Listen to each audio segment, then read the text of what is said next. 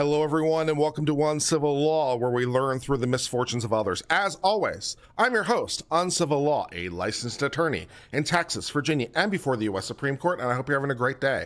For today's story, we cover the second part of oral arguments in the twin cases of NetChoice versus Florida versus Texas. Previously, we covered Florida's oral arguments and now we're going to cover Texas's. Both the states of Florida and Texas passed law that requires social media companies such as X and other social media companies to carry content regardless of its viewpoint. So the social media companies would no longer be able to delete content, moderate content, remove content, throttle content, or otherwise discriminate against content based on the viewpoints of that content. Of course, they'd still be able to remove anything that's illegal. They'd still be able to act against anyone who is trying to commit denial of service or otherwise abusing terms of service in different ways, but they would not be able to act against people merely because of their viewpoint, because they're Republican, because they're conservative, because they're pro this or anti that. They'd be forced to cover and carry all traffic. Well, NetChoice is a organization that opposed both these bills and both these laws, I should say, because they, of course they both became law. And in both Florida and Texas, they got appealed. Florida's version was ruled to be unconstitutional by the 11th Circuit Court of Appeals. Texas's version was ruled to be constitutional by the 5th Circuit Court of Appeals. And for what it's worth, both these decisions might be correct because, of course, the broad strokes I've just given you is not the details. And the details, of course, matter. Although they were both trying to do ostensibly the same thing, they had differences in how they went about it. And the differences could, of course, matter. So it is quite possible that both the 11th Circuit striking down Florida and the 5th Circuit upholding Texas are both correct. Or maybe they're neither correct, or some other kind of combination. We previously listened to the oral arguments as it relates to Florida's version of its law, and now we're going to cover Texas's versions of this law. And the essential argument basically boils down to, at least in major part, what is a social media company? How can it be thought of? What is it? Is it like a newspaper where they're writing their own content, editing their own content, publishing their own content? Is it more like a newsstand that's merely distributing content? Is it more like the telegraph or the phone company that has to accept all traffic? AT&T cannot discriminate against you based on you being Republican or Democrat. They have to accept all traffic, all calls for all purposes. They have to accept all traffic. Just like the post office or FedEx has to accept all letters that come into its offices. They cannot discriminate against the viewpoint of the person. They, of course, can discriminate in other ways. They can require the packages to be a certain size or a certain whatever. There's other ways they can conform, and in the case of FedEx, of course, can require you to pay. But they can't discriminate on viewpoint because companies like AT&T are considered to be a common carrier, just like a railroad, just like an airline. Again, they can't discriminate against you unless you otherwise violate the rules. The, the airlines have to accept everyone. The train company has to accept everyone. The bus company has to accept everyone. They can't discriminate against you. They have to accept all traffic. So, what kind of category are we in? Are we in the category of being a newspaper? Are we in the category of being a television station? Are we in the category of being a movie producer where we're completely in control of our own content? It's our message. We have the right to edit our message. It's our voice. We're the ones speaking. Get off our lawn.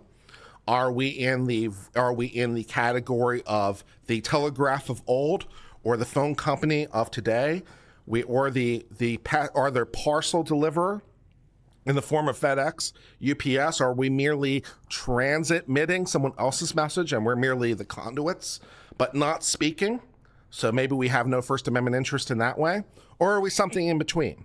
As we're trying to figure out whether or not and to what degree these social media companies can be regulated. So, what are they like? Is a major part of this debate. Now, social media companies, for the most part, are, of course, the messages of other people. They're not exclusively the messages of other people because even Twitter has a Twitter account, even Facebook has a Facebook account. And so it's not exclusively their messages, but they are principally a platform. They are not principally the publisher, as Section 230 of the Communications Decency Act makes clear. So maybe they don't have a First Amendment interest because it's not their voice. It's not their speech. The First Amendment only applies if it's your speech, after all. If it's not your speech, you don't have a First Amendment right. So that's sort of the thing that we're talking about, trying to delineate this.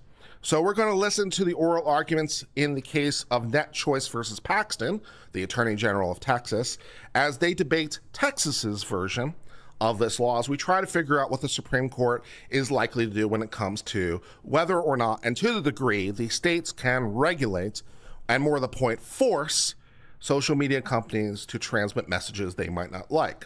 Let's go ahead and get started with this.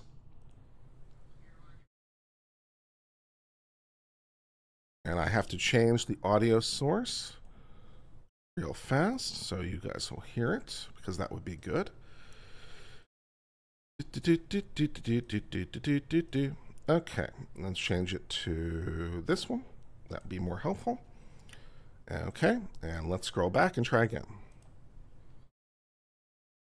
That did not work. Okay, properties. Ah, Let's try that one. Third time's a charm. We will hear argument next in case 22555, NetChoice versus Paxton. Mr. Clement. Mr. Chief Justice, and may it please the court. I don't want to proceed as if I wasn't here for the first argument, so let me. So these are these cases were argued on the same day. They were argued back to back, and Paul Clement argued in them both. Hence the joke. So he, he participated in the oral arguments relating to Florida, and now he's participating in the oral arguments relating to Texas. So that's the joke there focus on what's different about Texas. One thing, fortunately, that's, diff- that's different about Texas is its definition of social media platforms excludes websites. So we can just put that Gmail issue to one side for when we're talking about Texas. The other thing it excludes, of course, is websites that are primarily focused on news, sports, and entertainment. In the First Amendment business, we call that content-based discrimination. And that's just one of the many reasons that this statute is, dare I say it, facially unconstitutional constitutional. The other thing that's different is in some respects this statute operates more simply because it forbids my clients from engaging in viewpoint discrimination. Now, we're used to thinking that viewpoint discrimination is a bad thing and that government shouldn't do it, and of course, when governments do it, it is a bad thing. But when editors or speakers engage in viewpoint discrimination, that is their First Amendment right. It is also absolutely vital to the operation of these websites because if you have to be viewpoint neutral, that means that if you have materials that are involved in suicide prevention, you also have to have materials that advocate suicide promotion. Or if you have materials on your site that are pro-Semitic, then you have to let on materials onto your site that are anti-Semitic. Which, by the way, just for the parade of horribles before we depart too far, would also be true for common carriers generally. So AT&T, as I said, as a common carrier, Verizon as a common carrier, the phone companies generally as a common carrier have to accept all traffic. If you want to get on the phone and spread pro-suicide messages, they can't stop you. If you want to spread anti-suicide messages, they can't stop you. The same thing for UPS. They can they have to accept all traffic, all letters that come into their purview. They can't discriminate based on on viewpoint. Or in fact, they can't discriminate based on traffic, just period. They have to accept all traffic. So that's one of the things about being common carrier. Incidentally, which also insulates them from liability because they have no choice. They have to accept it, so they have no liability. So you might be in trouble for the message you're sending because you might be breaking the law, depending on exactly what you're doing, you know, as you're spreading your message but that's your problem, not the common carrier. So before we get too deep into the parade of horribles, of this would mean that we have to accept the pro-suicide messages too. Yes, that's what it would mean. We have to accept the pro-suicide messages too. But that would be the correct legal conclusion. So, you know, slow your roll, Mr. Paxton, or slow your roll, uh, Ken. You know, over here, uh, it's like you know, uh, it's. Uh, it's you know. And that is a formula for making these websites. Uh, Robin says, "What? What part about that was confusing?" Or was I not confused? Was I was I not confusing? The phone company can't stop you in what message you send because they're a common carrier. If you pick up the phone and you make a phone call, you can make a phone call about anything and they can't stop you. That's a common carrier. They can't stop you. What part about that is confusing? I'm unclear. Is this hearing about Facebook private messages or wall posts? This would be messages in the public mostly. These would be messages in what could be said to be exposed to the public. So this would be tweets. This isn't really contemplating DMs in the most part, I don't think. I'd have to go read the statute, but that's not really what we're talking about. We're mostly talking about messages that would be exposed to the public in some way. Uh, very unpopular to both users and advertisers, so it is absolutely vital. The other thing that makes Texas a little different is, at least in passing the law, uh, Texas was even more explicit in relying on the common carrier analogy, as if simply labeling websites common carriers makes the First Amendment pro problems go away. And that is fundamentally wrong for two basic reasons. One, these companies don't operate actually as common carriers. They all have terms of use that exclude varying degrees of content. And second, Texas can't simply convert them into public common carriers by its say so. I welcome the court's questions. Uh, Mr. Clement, if these laws go into effect, uh, what, how would your clients, uh, what steps would they take? Lenova says, I think mail and phone are different because those are more like private messages. Um, well, not necessarily, because although you wouldn't normally think of it this way, uh, you can send a message via mail not necessarily to just one person. And people do that, especially if you're advertising. You can send a message to 100 people, 1,000 people, a million people, and it's still protected by the same rule. And how many people are on this phone call, right? How many people are on the other? How many people are participating in this phone call? Is it two people? Is it 20 people? Is it 200 people? You have no idea how many people are on this phone call. So, yeah, the distinction I don't know is as clean as you might suspect. Uh, but, you know, fair, you know, there, there's that. To comply. So, I mean, you know, one thing that they would. Including, I'm sorry, just in, in, in, particular addressing the situation of compliance in Texas and Florida as opposed to nationwide. Sure. So, I mean, you know, one of the things that they would contemplate, at least, you know, with respect to Texas in the first instance, is there some way to just withdraw from the market in uh, Texas and Florida? And of course, Texas had that in mind in the statute and specifically said, uh, by we, we essentially have to do business in Texas and we can't discriminate against users based on their geographic location in Texas. So, if we lose this, including, you know, the idea that we can be forced to engage in expressive activity in Texas, then I think we would fundamentally have to change. Tony, would you please would you please time out Swamp Bear for a day and take whatever dispute he has to Discord? Thank you uh, the way that we provide our service in order to engage in view, in, in, in, order to provide anything like the service that we want to, while not uh, engaging in viewpoint discrimination, we basically have to uh, eliminate certain areas of speech entirely. So we just couldn't talk about suicide prevention anymore because we're not going to talk about suicide promotion. I guess we couldn't have pro-Semitic speech because we're not going to have anti-Semitic speech. So we'd have to figure out some way to try to to engage in even more uh, content moderation or editorial discretion to try to get us to a level uh, where we're more benign and somehow we, we don't run afoul of Texas's law. And then on the disclosure provisions, the record here reflects that, that you know, YouTube would have to basically uh, increase its disclosure and appeal process basically a hundredfold in order to comply with Texas law. Uh, I mean, I'm happy to talk more about the common carrier issue because I do think it's a central part of their defense. There was an allusion earlier about somehow Section 230 treats uh, treats my clients, the websites, as common carriers.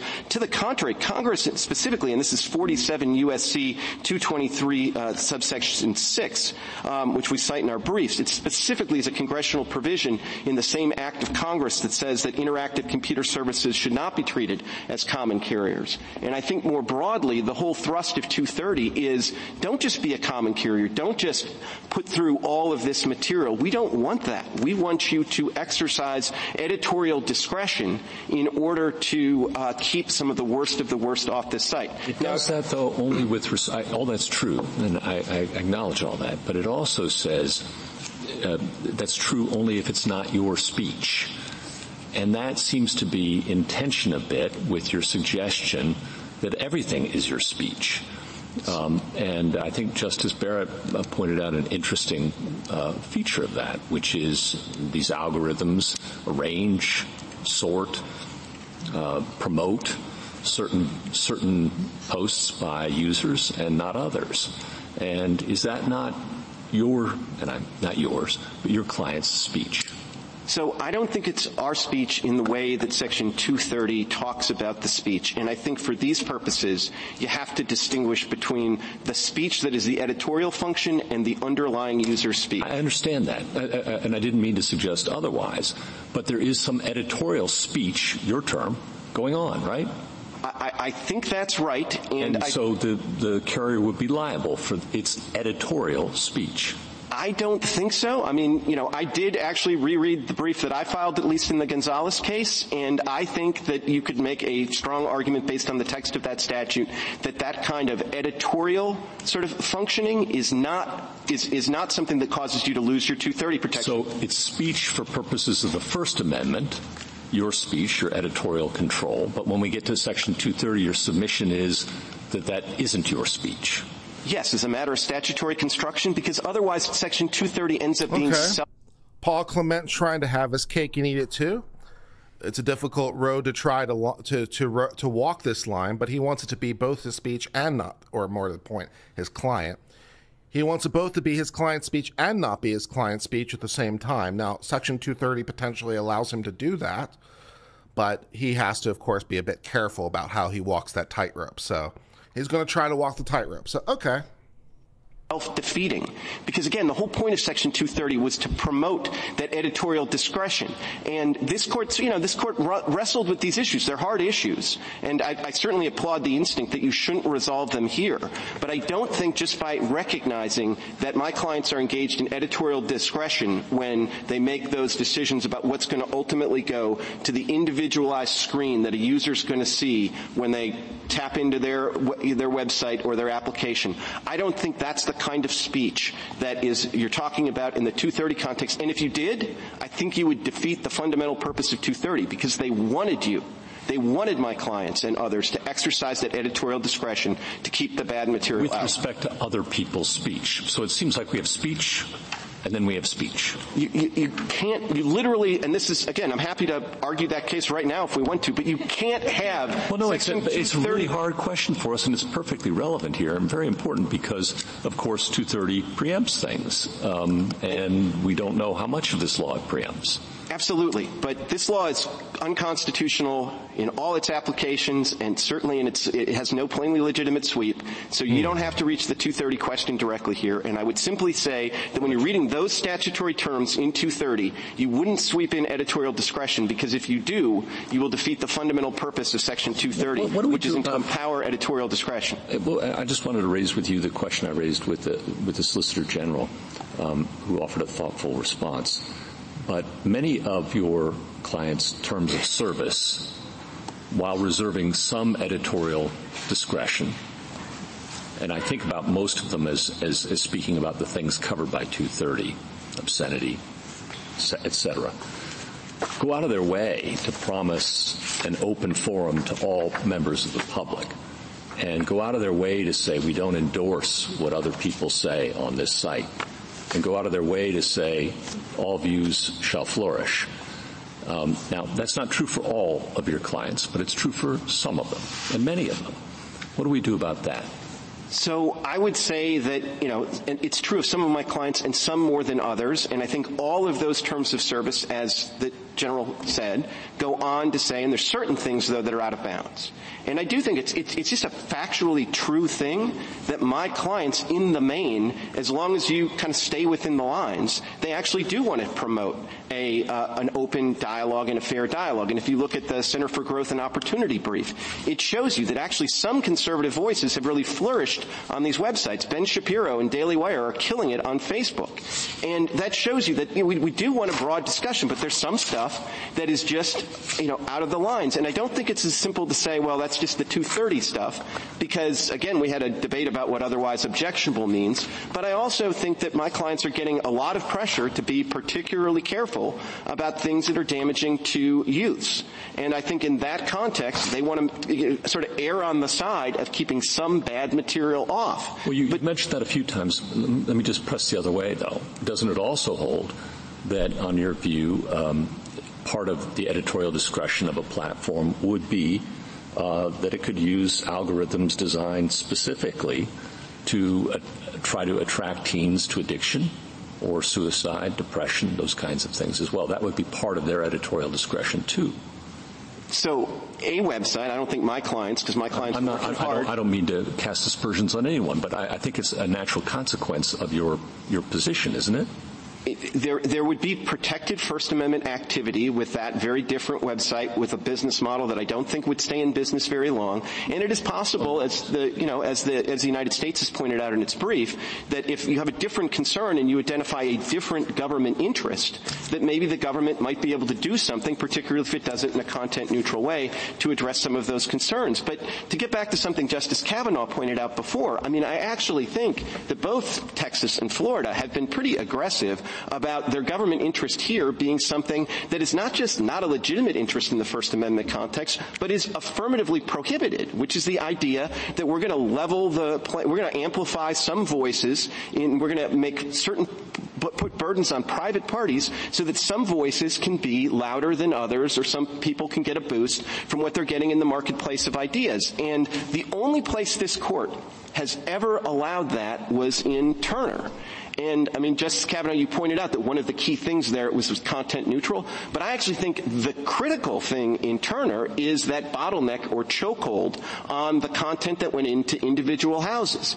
And I think that's what made what was otherwise an impermissible government interest a legitimate government interest in that narrow context. And maybe you could say the same thing. I mean, I don't know if Red Lion is still good law, but that's the same idea that there's like a scarcity rationale. But there's no scarcity rationale in the internet, and this course this court said that in 1997 in the Reno case. Mr. I'm sorry. No, no. Can I ask you about um, a distinction between two possible kinds of applications of the Texas law? So one is the application that prevents you from keeping out certain speech that you want to keep out. You said anti-Semitic speech. It could be any of a number of things. Um, as I understand it, the Texas law also prevents you also from doing something else, which is suppose um, you wanted to prevent anti-Semites from posting anything. You know, you want to, you just wanted to, to say that they're a class of people. We're not even going to let them post cat videos. Um, should we think about that uh, set of applications differently? I don't think you should think of it radically differently. I mean, it's a different application, but I think it's the same idea, which is there are some speakers, and I think this is going to be, you know, very few, but there are some speakers where they are so associated with a particular viewpoint that it, it informs essentially all of their speech. That idea slightly uh, amuses me. I don't know if that's possible, but I, I do, I do, uh, slightly amused by the concept that there might be someone, for example, who's such a such a Nazi that even their cat videos can be said to be Nazi propaganda. Somehow the somehow the perfectly innocent cat cat video is tainted by the association. That that thought amuses me as a possibility. I don't know if anyone else finds that funny, but it amused me. And it also affects the speech of other people in the forum. If you have a white supremacist on your speech forum and they're posting there, it's going to cause a lot of other people to say, what is that person doing? What's going on here? Why are all the dog photos white? Why are all the dogs I mean, it's going to fundamentally change the dynamic on the website. And I think a website that's trying to promote a particular discussion uh, has an, a, a, First Amendment right to exclude those people. And in practice, this is, you know, what, oh, what is used to exclude uh, sort of, you know, sexual predators, which is something again that the government can't do, Packingham, but uh, but Facebook does. Uh, and there's certain other people with, you know, just very distinct viewpoints where it's in a sense we know we know the viewpoint the viewpoint is problematic, um, even if the particular post is not. But Mr. Mr. Clement, I just wanted to follow up on that because it seems to me that Justice Kagan's question kind of gets to the distinction in 303 Creative between turning people away and the speech that you have. And so if you think about it as silencing someone who you let on your platform, then that seems more like speech or content moderation to the extreme, for example. But I assume that the implication of your answer to Justice Kagan is that you could tell the anti-Semite, we're not open for business to you, right? You can tell that person that our speech forum is not open to you. And I think that's what makes it different that Uh, Texas Mark is N focused asked a good question. We'll just take a second to answer this. Says, why do all these discussions turn into hypothetical examples? Shouldn't the certain question be whether a forum owner has the right to allow or disallow speech on his or her forum? We we ask hypothetical questions to test the principle. So someone comes out with the principle and says, "Here is the rule," right? Because that's that's what the Supreme Court is trying to figure out. What is the rule? That's the whole thing, right? What is the rule? And so the advocates say, "Okay, I propose the following rule." And so then basically it becomes, "Oh, really? Do you now? All right, let's try to figure out every possible way to break your rule." let's see if you really believe that. Let's really test that. Let's ask a whole bunch of hypotheticals in a whole bunch of different ways to see if that rule really holds up. So yeah, the the the point is to test the rule by exposing it to a whole bunch of examples to see if it's still the rule. And so maybe you say, okay, well that example I can't agree with that. So okay, maybe that's not the rule. Right? If you weren't able to you say, okay, you're right. You know, I can't defend that. So it's like, okay, so that's not the rule. You're wrong. And you can also, of course, get to the point where you try just you just try to defend it no matter what, right? No, this is the rule. Come higher, come hell or high water, and you just no matter what hypothetical you stick by it. But the absurdity is proven by the examples too. It's like, well, that can't be the right answer. I mean, it's the right answer by your hypoth- it's the right answer by your rule, but the the the conclusion doesn't flow. So it's about testing the rule. That's what we do. So it's like, okay, let's test your rule, you know, a hundred different ways and see if it see if it's the rule. So yeah, that's that's what appellate arguments are a lot about. So that makes sense really on these speech oriented platforms. And so I think if you're in the business of speech and you have somebody, and again, this is not sort of other prohibited statuses, this is viewpoint. And so you are a notorious anti Semite. We do not want you to participate in this conversation. Religion, then. Like Sure. And and I want to have a Catholic website. I can keep off somebody who's a notorious Protestant. I mean I want to I want to preserve I want to preserve the nature of the discussion on my forum. And it's a private forum, and the government can't tell me, um, as a private party, let the Protestant into the Catholic Party. I don't think so. Mr. Clement, can I ask you about Section Fair. 2? I don't think anything has been said about it so far. So you say that Section 2's individualized explanation requirements violate the First Amendment because they impose a massive burden, right? That's your argument? I mean, I, it seems to me that the European Union has imposed exactly the same, pretty much the same individualized explanation requirement on anybody who operates there that Texas has uh, imposed. And I, I'm not saying that whatever the European Union says is okay is constitutional here. But just on the practical question of whether it's too much of a burden, if it's not too much of a burden for your clients to do it in Europe, how can it be too much of a burden for them to do it here? So, as I understand the requirements, they are different. They are materially different. This, uh, you know, the and, and in a sense, the European Union um, provision has sort of a built-in kind of, you know, reasonably practical uh, provision right into what you have to do. You only have to do what's reasonably practical. This is an absolute requirement to respond to every, uh, you know, every takedown, and that's be over a billion takedowns of comments in a quarter for YouTube. And then there's also this appeal process, which I don't think is uh, coextensive with the process in Europe. So, just as a practical matter, I think this is more burdensome. But as you said, the the First Amendment does not apply uh, in Europe, and I think that having this kind of disclosure requirement on what is really an editorial discretion decision is potentially, I mean, hugely problematic. I mean, if you took this and said, you know, the New York Times, you have to you have to tell us why you rejected my my wedding announcement. I mean, you only take like 10% of the wedding announcements. You have to tell me, even if you automized that and sort of said, you know, you know, well, one, if you know you weren't rich enough. Two, if you weren't connected enough in New York social social circles. And and three, we just didn't like the way you looked. Even And if your you client, that, some of some of your clients are humongous, and if you want to say this is unduly burdensome, didn't you have some obligation in the district court to uh, try to? Is it enough for you to just say this is a huge burden, so knock this out? Or didn't you have to provide something to show how much, what resources would be required? We, we did. And, why that would be too much for the for these megaliths? I mean, we, we, we, did. There's more of a record in the Texas case than in the Florida case. Our, you know, the, the witness for YouTube in their declaration specifically said this would be 100 times more burdensome than their current process. And so there is a record on this. It is incredibly burdensome. Justice Thomas, anything further? Justice Alito? The, the 230 argument is intriguing to me, and it's uh, the distinctions that you're drawing somehow uh, to some degree escape me. So is it your position that you are exercising editorial discretion as to everything, let's take YouTube, as to every video that is placed on YouTube, you have exercised uh, editorial discretion that you want that on YouTube? I would say that we have exercised some editorial discretion to not sort of eliminate that from the site entirely. And as to an individual user, we've used what are typically in, in, many cases neutral algorithms, but certain, some of them are not neutral. And even in Taamneh, the briefs I think made quite clear that, you know, although that at a certain point some of the algorithms were neutral as between rice pilaf and terrorism, there were other efforts to affirmatively get terrorist stuff off of those sites. And so, so there. I mean, it, it, if you were a newspaper and you published uh, the content that appears in every single one of the videos on YouTube that you you allow to be uh, included, you would be liable potentially for uh, the content of those that material.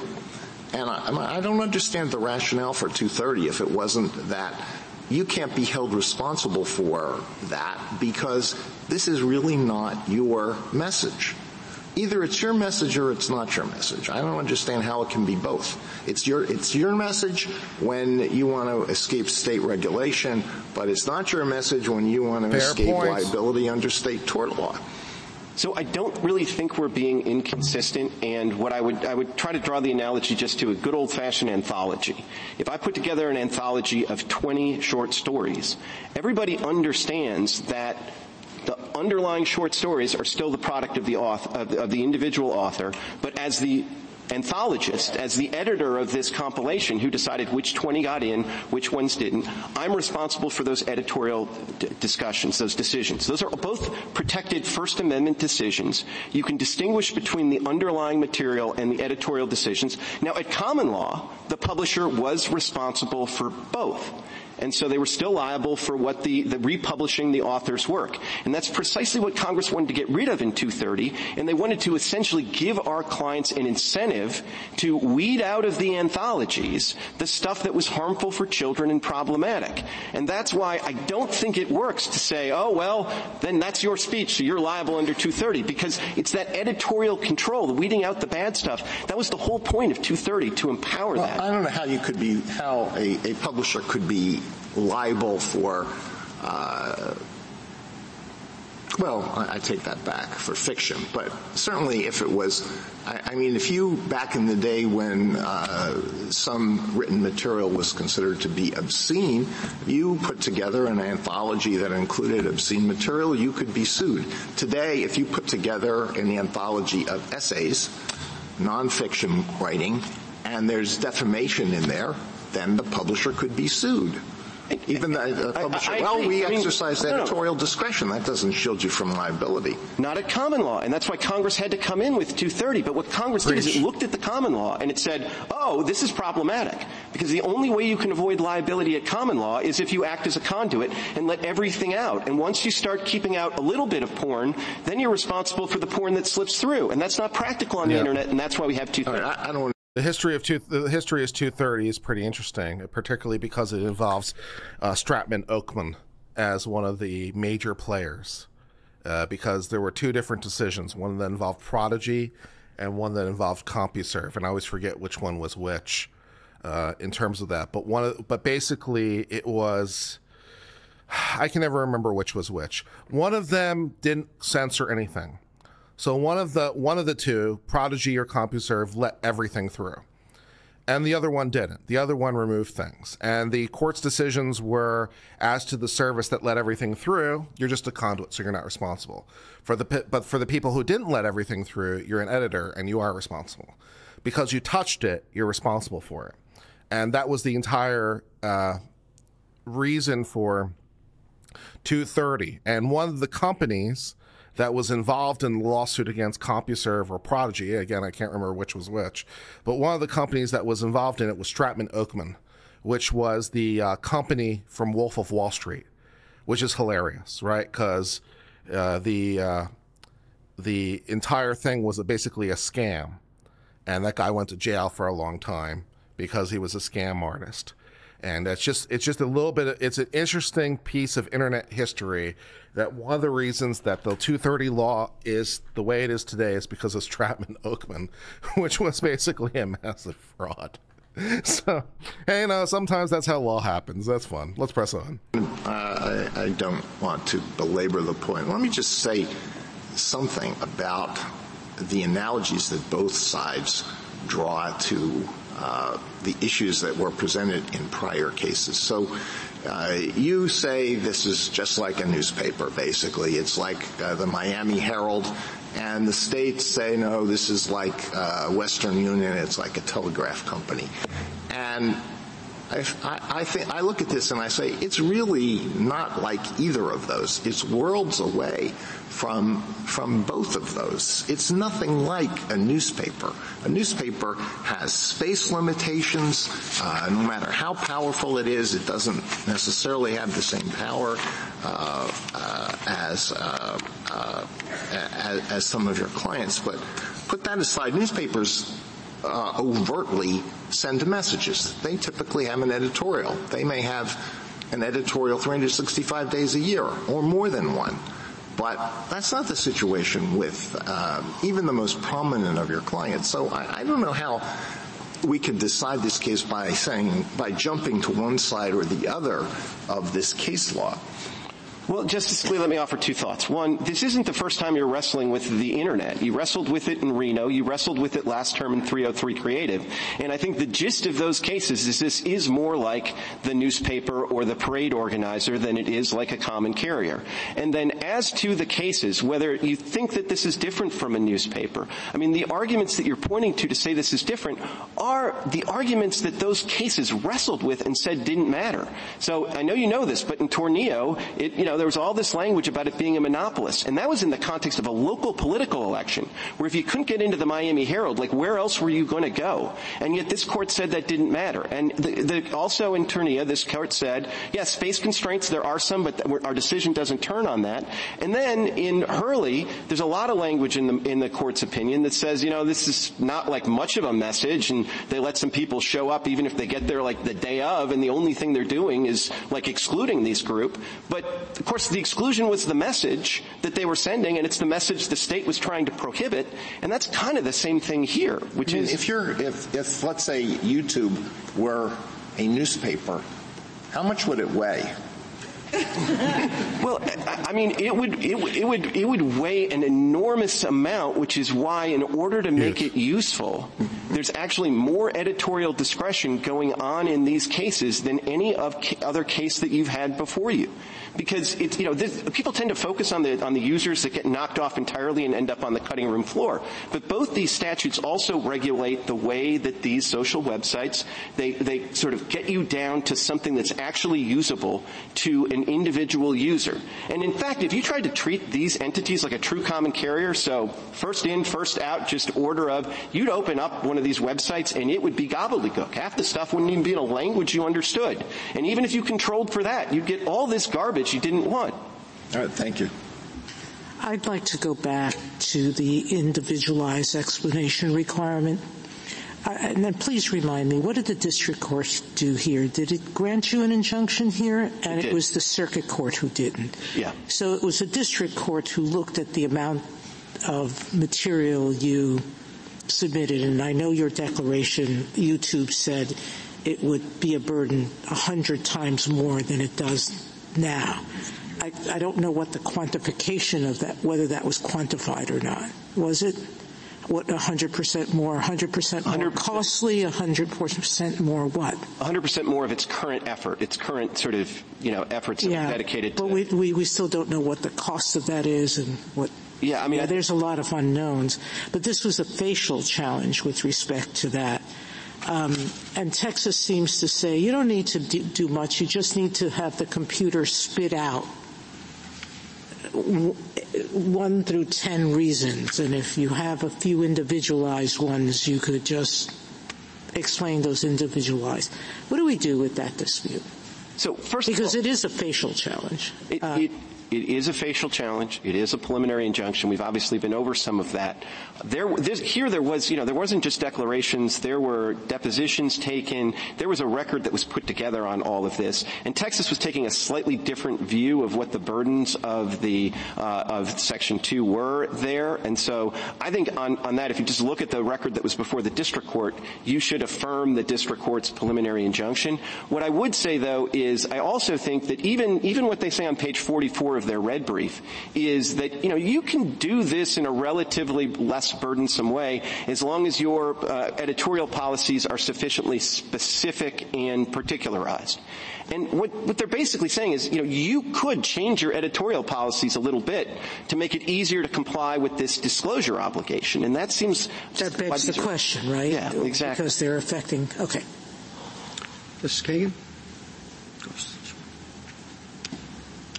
I just have, I just have a quick question. Um, so part of the dynamic that I think is going on in these cases is uh, the fact that this regulation is enacted by the sort of democratically elected representatives of a state.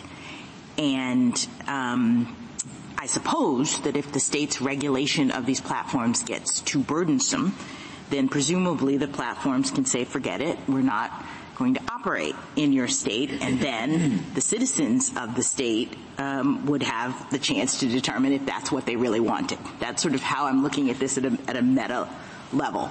So what caught my attention was your response to the Chief Justice um, when you suggested that your client couldn't withdraw from the state of Texas because you read the provision related to censorship and geography as ensuring that you don't do so. I had not read that provision in that way. So can you say more about why that's your interpretation? Sure, I think that's the obvious interpretation of that provision, particularly when it talks about, you know, this is, this isn't like, you know, don't don't discriminate against Texans or Texans wherever they are. The fact that it's particularly preventing us from discriminating on somebody with a geographic location in Texas is basically telling us that we can't try to geo-fence our service and try to essentially, you know, ex- explain to the people, you know, sometimes like if you get like uh, your cable service has a dispute with the provider and you can't get your football game and they tell you if you're hacked off about this, you know, call this number and complain. We can't do that in response to this law. And I think the legislators in Texas were able to tell their constituents, um, don't worry, um, you know, if you like your website, you can keep it. Um, we're not going to threaten. They can't. They can't pull out of here based on uh, the way that we're regulating them. So even if we could read it a different way, you're saying that this necessarily, I mean, I guess this also dovetails with my concern about us not having sort of state interpretations or an application here to really understand. Because I could read this differently. It seems to me it's fitting into the whole set of things you're not allowed to do. You can't censor people on the basis of the viewpoint um, uh, of the user. You can't uh, censor them basis on the basis of the viewpoint that is being expressed, and you can't censor them based on their location um, in your state or another part of the state. And so I guess I don't necessarily see that in the same way. I mean, you can't just automatically do that, I guess. I don't know. It, it, it, it seems to me quite clear that it's designed essentially as a poison pill, or somebody described it as the Hotel California provision. That you can you can you can you can't leave Texas uh, even if you want to uh, try to do that as a way of showing that this is an impermissible way of regulating our expressive activities. And you know, so so I, I, I do think that is the right reading. I do think the fact that it's geo, geo geographical location in Texas is kind of a clue to that. So this is not something where you know if you're a you know, if you're a Texas fan, you're protected no matter where you go in America. This really is designed to sort of say that you can't do the kind of geofencing that you might otherwise do to comply with an idiosyncratic state law. I should mention, just for the sake of completeness, that, you know, in the lower courts, not part of the preliminary injunction, there are dormant Commerce Clause challenges to these provisions and the way that this is just kind of one state trying to regulate everybody. And so that's part of the case that will be there. But it's not here yet. But it's not here. All that's All right. here is a preliminary injunction that runs to my clients. So, I mean, you know, this, this statute has a smaller universe of people, but if there's somebody else out there uh, who, you know, isn't one of my clients, who isn't covered by this preliminary injunction, the statute could take effect as to those people, and the same is true in Florida. Thank you. Thank you, counsel. General Prelogar? Mr. Chief Justice. I mean, it's a great argument, and the the concerns are notable. And trying to figure out exactly what this thing is and how it behaves is is a lot of the game in this thing because that's sort of what I said at the start. Like, what is what is a YouTube? What is a Twitter? What is a Facebook? What is an Instagram? What is a TikTok for that matter? Although TikTok is perhaps not a great example because that's also being regulated by federal law differently, but I digress. It's like, what are these things? Are they the telegraph? Are they the telephone? Are they a newspaper? Are they a bookstore? Are they a newsstand? It's like, what are these things? As we're trying to figure out how to regulate and how go how to go about this thing, is a long way. And can the states categorize this as a matter of state law? And the the the answer seems to be yes, uh, if if they're merely a conduit for communication because if they're merely a conduit we're not we're not talking first amendment we're talking conduct right? I might be delivering speech but i'm delivering. That's the thing because i'm a conduit. I'm the messenger. You know i'm not speaking i'm delivering. The message is the speech the message is the speaker but i'm not the speaker i'm just delivering. I'm just doing conduct. So if I come to you as the state, if I'm the state of Florida or the state of Texas, or if we're going back into the Telegraph and where some of this precedent deals with, if I'm the state of New York, as was the case at one time, and I'm like, hey, Western Union, you must send the messages because that's what you do. You send messages. You you transmit the message. Someone comes to you and they pay you a fee and you send the message. You transmit the message. So you're not speaking. You're just you're just acting. You're just you're just acting to to send messages. That's all you're doing. And you're not regulated as a matter of federal law, at least at this time in this way. So we're the state of New York and we're going to make you. And that is a completely different thing because you don't have a federal constitutional guarantee. So this is basically the state saying you can't exclude the person who comes in your door. So states have the right to exclude unless they, you know, don't. Or businesses have the right to exclude unless they don't. Because businesses are regulated by their individual states. And so, you know, obviously you can't discriminate on the basis of protected characteristics, but then again, those protected characteristics are a feature of law. Why can't you refuse the black person who comes in the door? It's like you have the right to do business. Well, yes, you do, but you must you must take the black person who comes in the door. You must take the the Protestant who comes in the door. You have to accept that coffee order. You have to accept that order. You must serve them, business person. And the the state wishes to impose further burdens. It's like you want to do you want to do business in our state. It's like you must serve. You must. We can tell you who you must serve, as one of the conditions of our state law, and that makes sense for a lot of reasons.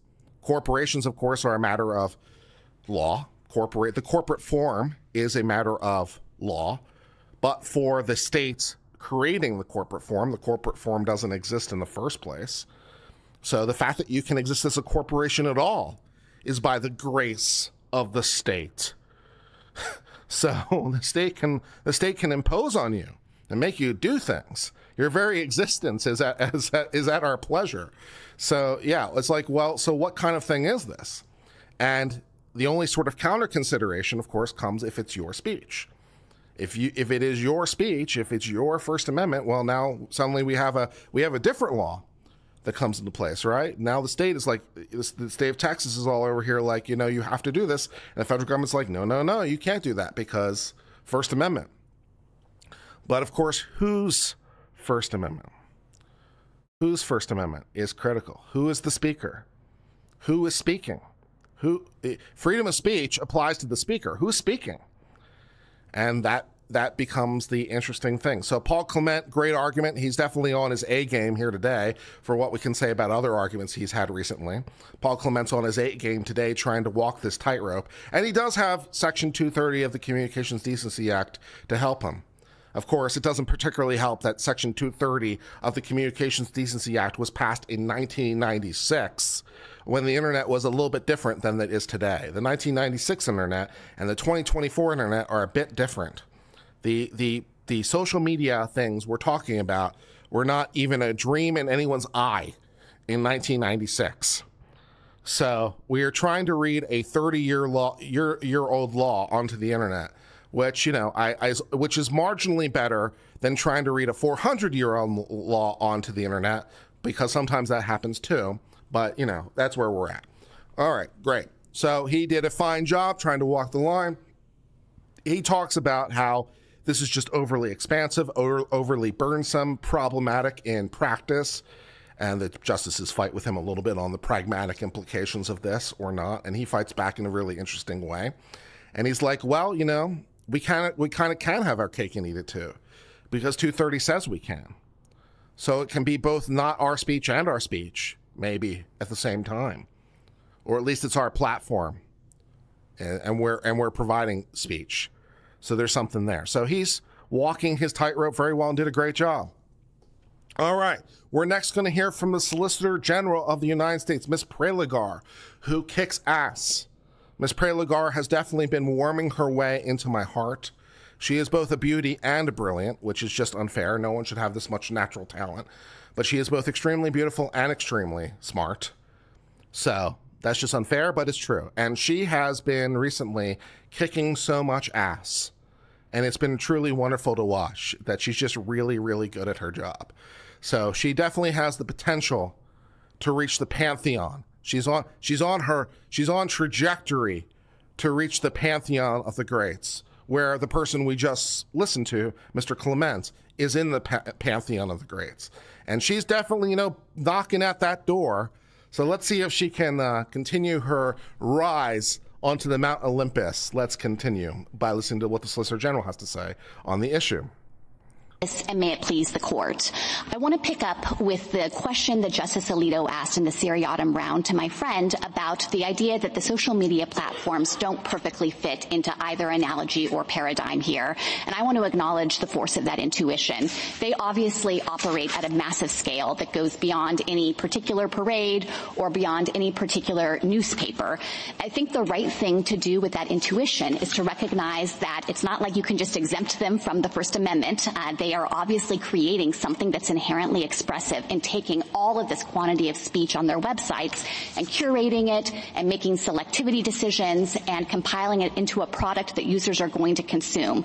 So the First Amendment applies, but I think that those kinds of concerns about how the social media platforms and how they look somewhat different from the other kinds of expressive products this court has reviewed in prior cases can come into the question of whether the First Amendment is satisfied with respect to any particular regulation now here, we think it's not satisfied because of the way that Texas has designed this law.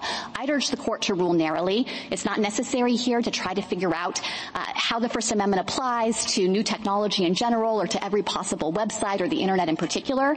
This law has a very clear defect. What Texas has done is try to countermand the protected editorial speech decisions of the platform, and the only justification it's offered to the courts below is that it wanted to essentially amplify amplify the voice of users on that platform by suppressing the platform's own protected speech.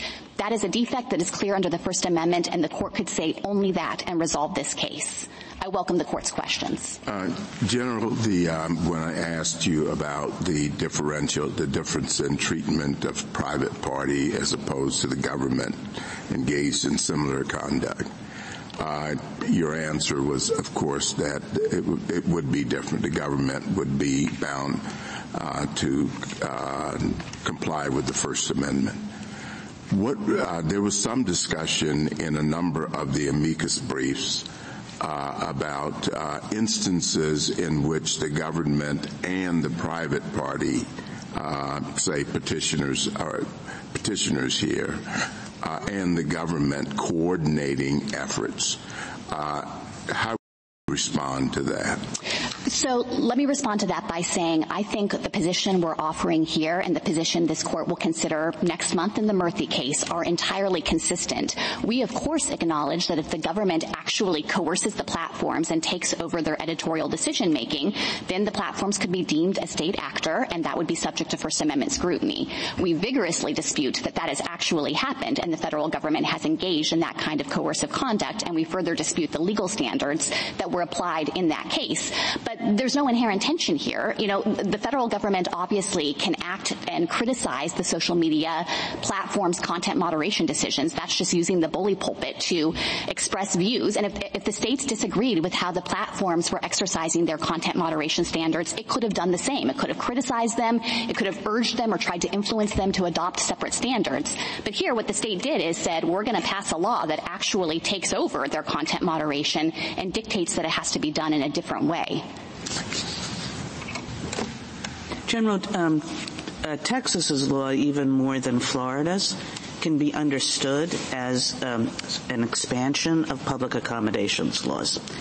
And the United States is uh, often in a position of defending public accommodations laws and uh, insisting that they be uh, vigorously enforced? And how do you see what Texas is trying to do as consistent with that broader stance about public accommodations laws? Yes. So I want to be very clear and stake out potentially some separate ground from my friend representing the platforms in this case with respect to generally applicable public accommodations laws that protect based on a, a particular status. We think, of course, those laws are valid on their face and that they serve compelling governmental interests. Uh, and so to the extent that you're looking at how an ordinary public accommodations law operates, the refusal to deal, the refusal to serve, as Justice Barrett said, we think that's a regulation of conduct and that ordinarily there would be no First Amendment problem with the application of that law.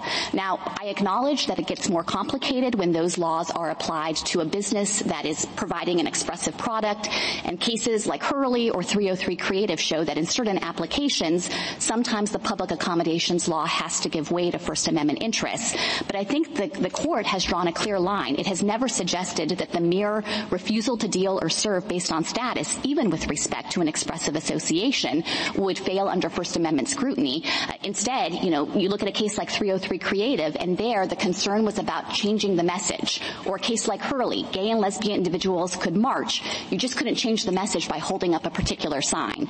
So we recognize that there are going to be some applications where you'd have to conduct that kind of First Amendment analysis. But if the question, the relevant question is, could you just bar people on the basis of a protected status from creating an account? And it's not going to affect your message. They want to, you know, lurk on X and read other people's posts. I think that that kind of law would certainly be valid. I want to briefly address, Justice Gorsuch, the question you asked about the scope of CDA preemption. I have to give her credit for using the word lurk. I don't know if she intended that with the precision in which she delivered it, but lurk was exactly the correct word, so bonus points under Section 230. Just to be clear on this one, I, I want to say there are unresolved issues here. I would warn the court away from trying to resolve exactly how much conduct CDA 230 protects and exactly how that interacts with the Texas law here. The only point I would make is that you know there there are questions about what it means to act in good faith, questions about what it means for the platform to take down content that uh, that is otherwise objectionable. But however those interpretive disputes might shake out in a particular case, surely Texas here isn't saying that its entire law is preempted and it has no effect whatsoever and CDA 230 fully takes care of the problem. So I think what the court could do, not knowing exactly the scope of how that preemption issue might be resolved, is to say whatever exists in that category of speech that Texas is prohibiting, the editorial decisions it's countermanding on the one hand versus what CDA 230 would authorize on the other hand, whether that's a big category or a little category, all of the things in that category constitute protected decisions by the platform that haven't been adequately adequately justified. And I think that's all you need to say about the preemption issue in this. Damn girl. Damn girl, that's that's that's that's a good answer. Uh, I, I I really that's a really good answer, man. Uh, separate out the separate separate the guy the line, man. She she talks about the case law. She talks about so she talks about the prior case law about the dealing with the line. Some applications where you have to conduct the First Amendment analysis. And the relevant question could you just bar people on the basis of protected status from creating an account? So she seems to say, well, if Texas wants to pass that law, that's cool. So she's not giving up very much, right? So if you want to just merely create an account, I, I suppose you can. Uh, but you might not be able to send it, or but if you just want to use it to lurk at other people's accounts, maybe Texas can be, maybe Texas can require Twitter for you to have an account, even if it doesn't allow you to do anything. Uh, so that's interesting, uh, except you know just receive traffic, uh, as opposed to send traffic. And then she she jumps on to Gorsuch's, to Gorsuch's question about 230, and she wants the court to try to stay away from the 230 question for a lot of reasons because the Supreme Court has never really spoken about 230 like ever. The lower courts have to a lot of degree, a large degree, but the Supreme Court has never had. And so she is justifiably frightened about the Supreme Court speaking about the question because, well, you know, if the Supreme Court speaks, the Supreme Court speaks, and she would really prefer them not doing that right now uh, if they don't have to, which I, I endlessly appreciate. You know, you don't want the Supreme Court to rule on things you don't have to. So it's like, you know, this is a completely undeveloped area of law. You know, for the Supreme Court, really prefer that you not answer any questions right there, right now. So that's good. And, you know, she says, when she talks about good faith, right? Because this is this idea about what good faith means and what otherwise objectionable means. These are the issues in the CDA 230. Because it says basically, I'm I'm not can't I can't quote can't can't quote it verbatim, but if a social media company uh, editorializes, removes, deletes content in good faith for because the content is obscene, blah blah blah blah blah, or otherwise objectionable, right? So we have these two potential things. What does it mean to do something in good faith? What does it mean to be otherwise objectionable? The lower courts have said this means whatever the social media companies want to mean, basically. So everything is good faith, at least according to the lower courts, everything is good faith and everything is otherwise objectionable. That seems to be what they say. So she's like, about what, you know, there are questions about what it means to act in good faith, questions about otherwise objectionable. Fair enough, because the Supreme Court's never answered those questions. That's where the lingering monster in the background we'd really prefer you not to answer right now. Um, but however that might shake out in some case that might actually deal with those things in some future day, um, Texas isn't, of course, saying they preempted so whatsoever, and 230 fully taking care. So what I think the court could do, not knowing the exact scope of how the preemption issue might be resolved. So how does 230, how does 230 limit Texas? Because if the federal government has preempted Texas, it's preempted Texas. So, you know, without knowing whether or not preemption exists or not, so maybe I don't even have to answer that question. Because if I don't answer 230, if I don't talk about 230, I don't have to talk about whether 230 is preempting or not right? If I don't if I don't have to even talk about 230, then I surely don't have to decide whether it's preempting or not in some application. So, you know, so instead of doing all those things, she says you could say whatever exists in a category of speech that Texas is prohibiting, the editorial decisions is countermanding on the one hand versus what 230 would authorize, whether that's bigger or little or category. All those things can constitute protected decisions by the platform. And she just basically roots everything back into the First Amendment analysis. So she just like, forget 230, forget 230, forget otherwise objectionable, forget, you know, all that stuff, and just be like, you know, if if Texas is prohibiting editorial decisions, then that's a First Amendment problem. That's all you need to decide. And so she basically, you know, dodges every she dodges every laser beam, she dodges every landmine, and tells the Supreme Court not to look at the man behind the curtain and only focus on this thing over here. And she is absolutely slaying it. She's slaying it. Case. If a legislative body enacts a law requiring viewpoint neutrality in some area. And it does so because it has it is concerned that people who express a particular viewpoint are suffering discrimination.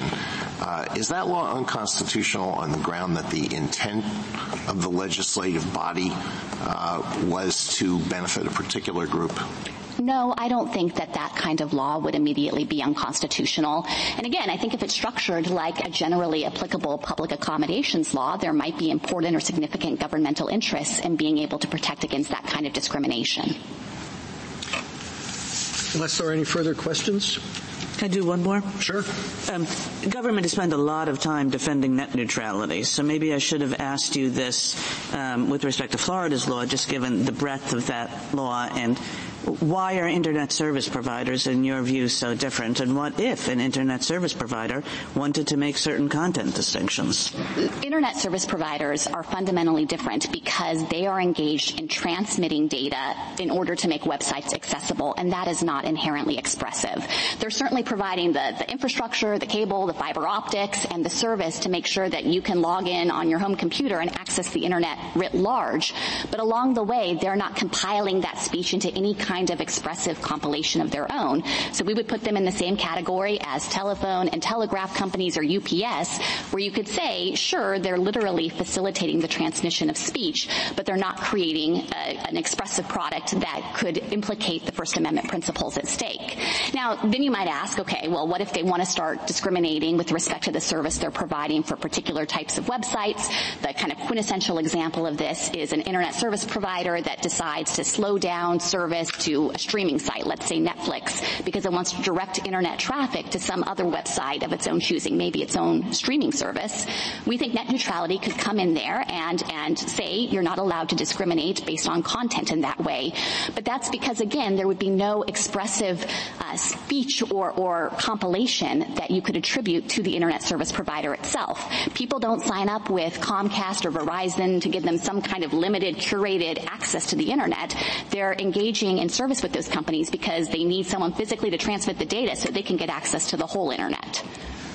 Can I ask one? I don't have to buy anything you just said to rule for your position in this case, anything you just said on net neutrality, right? You do not have to agree with me, Justice Kavanaugh. I hope someday, if it comes to it, to persuade you. I'm not, I'm not but saying, but I just want to make sure that's walled nothing off. Nothing about the yeah. court's decision yeah. in this case would at all affect the net neutrality issue. You know, we think that here the platforms are engaging in expressive activity. That's protected by the First Amendment, and you can leave for another. She's smart. She's beautiful. She's funny. She can turn a joke. Is it is it is it is it too late to elect her queen? I mean, you know, yeah, she's she's so smart. Day, all of the kind of conduit questions that come up in the net neutrality context. Thank you. Thank you, counsel. Mr. Nielsen. All right, Justice. Uh, all right, uh, Attorney General. Apologize, not Attorney General. Solicitor General Prelogar uh, continues to crush it and prove us to all be unworthy at her feet. Uh, you know, she she is practicing law, and the rest of the rest of us are just pretending. Um, she is she is so good. She is so controlled. She's just so good at staying in frame. It's it's amazing, and she's disarming, intelligent, informed. She knows her history. She knows cross application. She knows, you know, there's a lot of there's a lot of there's a lot of practice in this to be sure, but I'm not that good. I'm just I'm just not that good. You know, all the all the prep in the world, I I can't I can't do this. Um she's just better than me. And uh yeah. So it's humbling. She kicks ass.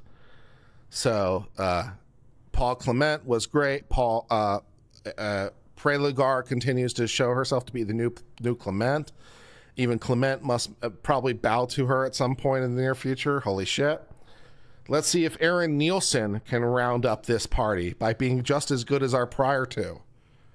That's that's that's a tough that's a tough one if you're Aaron Nielsen over here. Aaron Nielsen has to go after Paul Clement and Solicitor General Prelogar and got to perform at that level. Holy shit, dude. Holy shit. Uh, that's that's that's that's rough, man. That's rough. I'm so sorry for you. Let's see if let's see if Aaron over here can uh, can hold his own. Good luck, Aaron. Uh, thank you. It's been a long day. Uh, Mr. Chief Justice, and may it please the court, this is not the first time that new technology has been used to stifle speech. Telegraphs also discriminated based on viewpoint, prompting a national, a national scandal. Yet under the platform's theory, Western Union was just making editorial choices not to transmit pro-union views.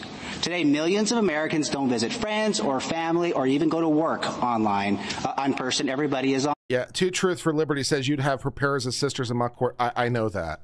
I know that. I'm trying to factor all that in. I'm trying to factor all that in. I'm like, can I do this? Can I do this with all the prep in the world? Can I do this with all the preparation in the world? Can I can I play at her level? I can certainly not embarrass myself. I can certainly be an also ran. I might even be good. But can I play the way that she can play? I'm like, no. No. I, I, I can't. No. no. No. You know, it's like, you know, I'm I'm like a seven out of ten on my best day, and she's like nine point nine out of ten. Yeah, she's she. Now that of course doesn't mean that she's right, and it doesn't even necessarily mean that I wouldn't win.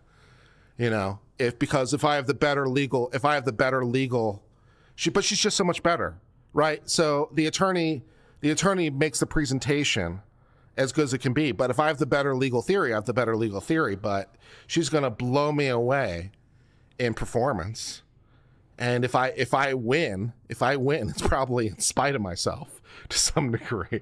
I'm humble. I know my limitations. Online, the modern public square. Yet if platforms that passively host the speech of billions of people are themselves the speakers and can discriminate, there will be no public square to speak of. We know this because Twitter has admitted that their theory of the First Amendment would allow them to discriminate not just based on what is said on the platform, but, quote, on the basis of religion or gender or physical disability. That's not the First Amendment. That's Lochner 2.0. As more than 40 states warned the court, the implications are gravely serious. On the other hand, I'd be better than this guy. Uh.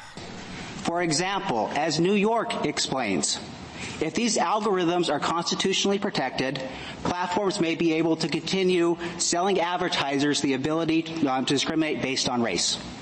Or, as Professor Lawrence Lessig, Zephyr Teachout, and Tim Wu, who do not typically file briefs in support of Texas, um, caution not just states, but Congress may be powerless to address the social media crisis devastating the lives of kids. HB 20 is a modest effort to regulate such power in the context of viewpoint discrimination. Platforms can say anything they want under HB 20 about anything. There's no limit. They can say anything they want. Users can block anything they don't want. There's no limit on that. All that's left is voluntary communications between people who want to speak and people who want to listen. This law is thus nowhere near the heartland of the First Amendment. Uh, instead, this is democracy and federalism, not a facial pre-enforcement injunction. I welcome the court's questions.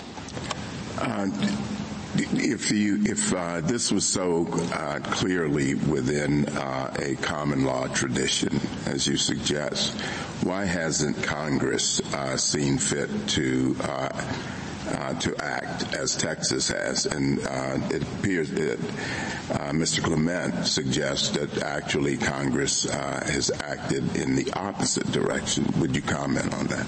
Yeah, I don't see how, uh, with all respect to my friend, how their reading of 230 is at all consistent with what Congress said. They have all sorts of kind of policy arguments about how 230 ought to work, but if you actually just read the words of the statute, it doesn't work. So his suggestion that Congress somehow has kicked out Texas or said that that's not how we want us to be, I don't think is consistent with the text of the statute. I didn't hear a lot of textual argument um, coming from Mr. Clement there. So that'd be my, my first line answer. My second line answer is I have no idea why Congress does or does not do, uh, but I do know that Texas has the ability to protect Texans, and that's what Texas has done here. Counsel, you began by saying, you know, the uh, platforms, they want to keep out this person and that person on the basis of uh, race or sex, and then you said that's not the First Amendment. Well, the First Amendment doesn't apply to them. The First Amendment restricts what the government can do. And what the government's doing here is saying you must do this, you must carry these people, you've got to explain if you don't. That's not the First Amendment. Well, respectfully, Your Honor, the First Amendment is big, and it applies in a lot of different ways. So it's true um, for us, like we're saying, because this isn't speech, it's conduct, we can require viewpoint neutrality. But in other cases, the same companies are saying when New York or some other state says, hey, you can't have algorithms that try to hook kids, they say, well, we have a First Amendment right to do that. It's the same First Amendment, the same First Amendment that says, uh, I mean, if it's all First Amendment, then I guess it's going to be hard for Texas to say you, you have to be viewpoint neutral, but it's also going to be hard for California and Illinois or anybody else to say you can't have an algorithm um, that hooks kids because it's all the yeah, same. I'm sure it's the same for all the other all the other states. The question is, they don't have the obligation to. Uh, uh, act in the same way that you as the state has the obligation to do they can discriminate against particular uh, groups that they don't like, um, uh, whether it's a group that encourages kids to uh, take uh, the Tide Pod can- uh, contest or, or, something else, uh, and you have different obligations. I guess a couple ways I could respond to that, Your Honor. The, the easiest one I'm going to talk about is, if I may, um, common carriage. Um, my reaction coming to this case was the same as yours. My reaction was, well, wait a minute. It's their own platform. You can't censor, like, they're, they're private. But that's the exact same scenario that came up with the telegraph. Um, the idea that telegraph was dumb pipes is not true. Instead, what the Telegraph was, is they had the technological, technological ability to say that we're not going to let this type of speech through. No, you're absolutely um, right, but it's kind of begging the question. You're assuming that they're like the Telegraph. It seems to me that that's a big part of what the case uh, case concerns. And I'm just not sure that, I mean, the Telegraph had particular compelling type of uh, monopoly. I mean, if you didn't want to use the telegraph that was there, you usually didn't have an alternative choice, whether you're talking about railroads or other types of common carriers. Uh, I'm not sure the same thing applies um, uh, with respect to social platforms. So I give you my theory for why common carriage is important here. Uh, as I look at the cases, and I agree, they're really hard to figure out where conduct starts and speech ends and all of that. And you look at all of the various cases this court has said, some commentators say they can't be reconciled. I'm not sure about that. Um, but I think it's a helpful way to think about it is we know that there is a line between speech and conduct. Uh, and we know that common carriage has always been on the non-speech side of the line, the conduct side of the line. So if this falls within the common law uh, tradition of what is common carriage, nobody's ever thought that falls on the speech side of the line. So we, we can't make them you know, say something otherwise that they, that they didn't want to say. The whole point of it is that's a signal to the court. That's a way that the court can figure out which side of the line are we on. Well, that, that's it turns on whether you're saying who do you want to leave uh, the judgment about who can speak or who can't speak on these platforms, and do you want to leave it with the government, with the state, or do you want to leave it with the platforms, the different various platforms? Well, the First Amendment has a thumb on the scale when that question is asked. It does, and that's why it's important, I said, to go back to look at the history on this, because at some point the First Amendment has to end, or everything is covered by the First Amendment.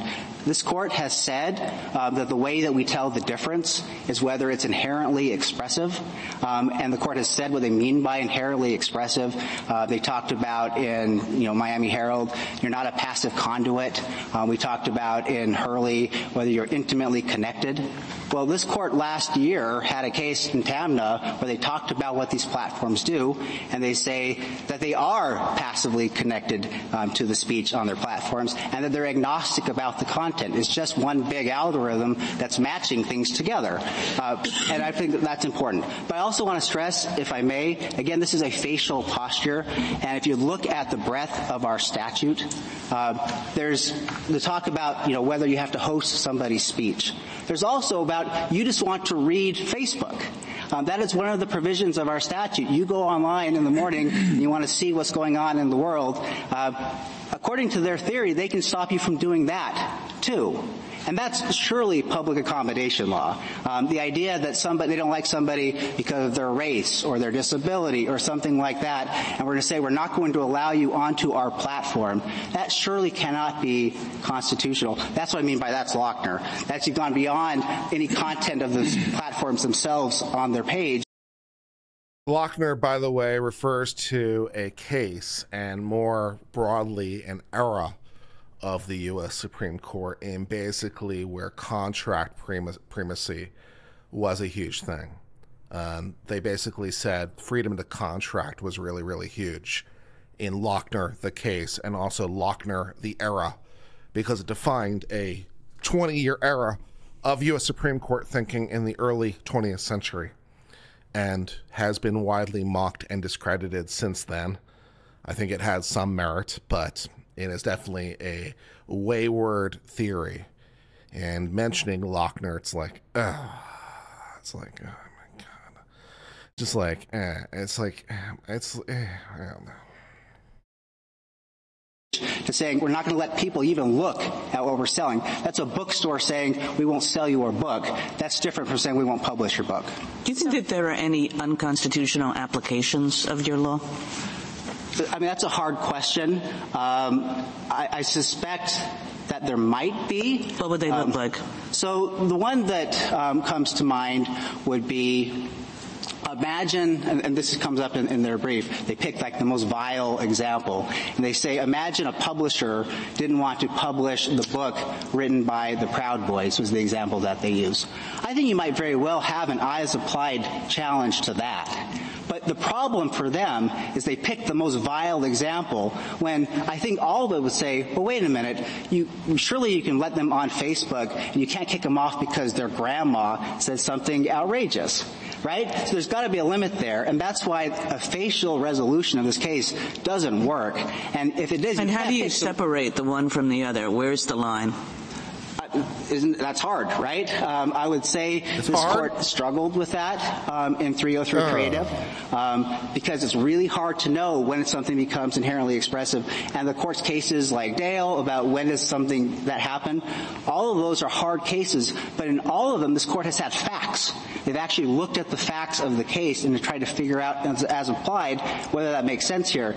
In this situation, there's a million applications of this law that are perfectly fine. Um, and they pick some of the most vile possible hypotheticals, ignoring, by the way, the provision of Texas law, which they never address, which says under Texas law, if you don't want to hear content, they're allowed to make sure you never hear that content.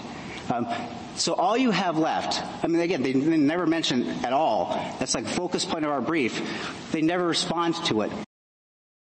Uh, Jix Clement says the amendments are limited. Sure, I mean they're limited by their own terms, naturally, and the concepts that they uh, cover are limited. Yes, to say an amendment, yes, the amendment, uh, the amendments are limited, but that's naturally true because they can't cover everything.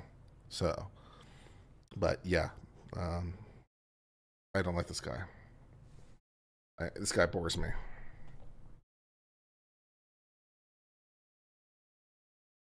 I, I am not engaged.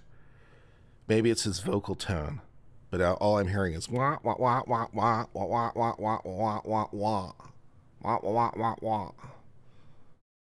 After hearing the singing of the singing of Clement and Prelogar, his voice are like nails in my ears. I, I think I passed out at some point. Uh, we'll press on though. But that means uh, all that's left is I don't want to hear this type of speech. I just want to hear this type of speech. And it's just voluntary communication. That's a telephone. Um, Mr. Nielsen, um, we, you heard during the prior argument a lot of conversation about how broad Florida's law was. I read Texas's law to be more narrow in its coverage, that it wouldn't sweep in some of the examples we were using in the last argument, like Uber, Etsy. Is that, am I correct? I think that's fair, Your Honor.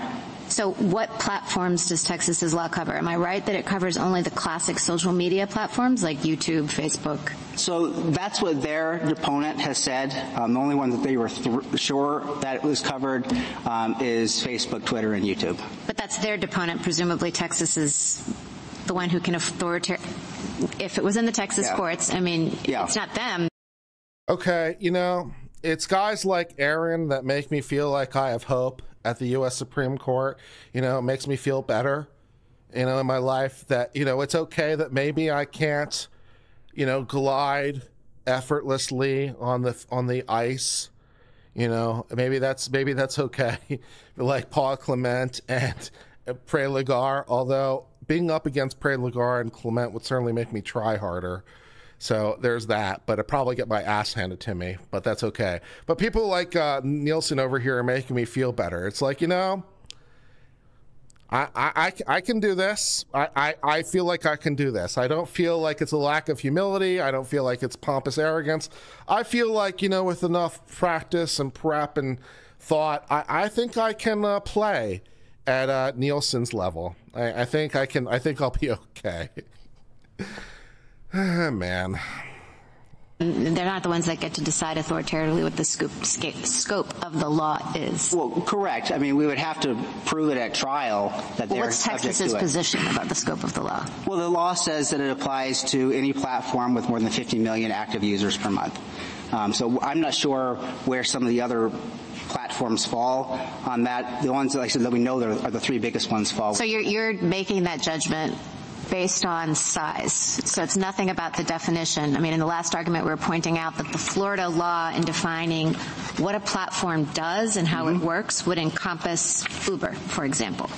But, oh, oh, but you're saying that you're, you're, just distinguishing this based on numbers. Uh, no, I apologize, Your Honor. There's also a separate provision which defines social media platform as a website open to the public, allowing the user to create an account, and enables users to communicate with other users for the primary purpose of posting information, comments, and so on. And so is it Texas's position that that definition then covers the classic social media sites, and by classic social, social media sites, I mean sites like Facebook and YouTube? Yes, Your Honor. Okay, and that it would not sweep more broadly to some of these other things like Etsy? I don't think so, Your Honor. Um, but the, the district court thought it covered WhatsApp. Do you think that it doesn't? I don't know. The, I mean, I, I, I don't know the answer. That's the answer. Really? You don't know the answer? The district court said it, though. The district court said it. How do you not have an opinion on this? Right? I mean, this isn't something you're hearing for the first time ever, right? It isn't just one of the justices said, hey, how about WhatsApp? And you say, you know, Your Honor, no one's ever mentioned WhatsApp before, ever before in this case, so I haven't really thought about it. Thank you for your question. No, the question was, hey, the district court, remember them? Yeah, they said that this covers what app? WhatsApp. What do you think? I don't know. Really? You don't know? Seriously? You don't know? You're not You're not doing the state of Texas any favors, my friend. You, you don't know. Okay, is WhatsApp in the box or not in the box? You knew about this. You've had some time to think about it. I have no clue. Great. That's that's super helpful. Mr. Nielsen over here is not playing at the Paul Clement Prelogar level. That's the best I can give you. I don't know. We don't have discovery into that. We had the deponent, their own witness said these are the three that we are sure are covered. It might very well be. That's another reason why it's hard to do this on a facial basis, because uh, it might very well be WhatsApp, which sure looks like a telephone to me, um, it would be covered by. But what about? I mean, it's within the big three. There are is the state of is the state of Texas not have good solicitors? I mean, I'm available. I'm I'm just saying. I'm in Texas and everything. I'm licensed. I'll go to the Supreme Court. I'm I can do this. The state of Texas run out of people? Damn some email looking functions, aren't there? I mean, I, I, appreciate that it's hard to do this because we don't have a record, but I understood that face, Facebook, for example, which you say would be covered, has a messenger function. Yes, Your Honor. Which looks like email. So wouldn't we have to do this at the level of the functionality of these various platforms rather than at the kind of entity level?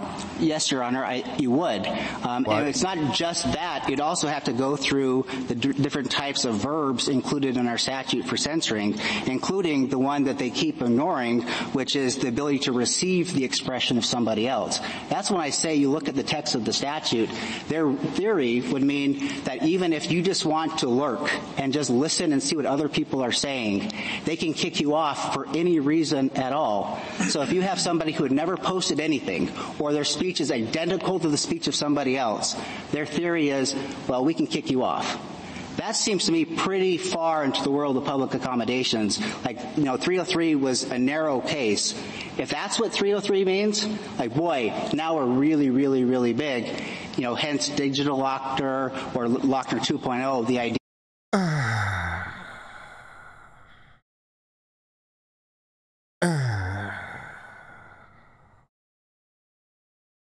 don't don't mention Lochner. Just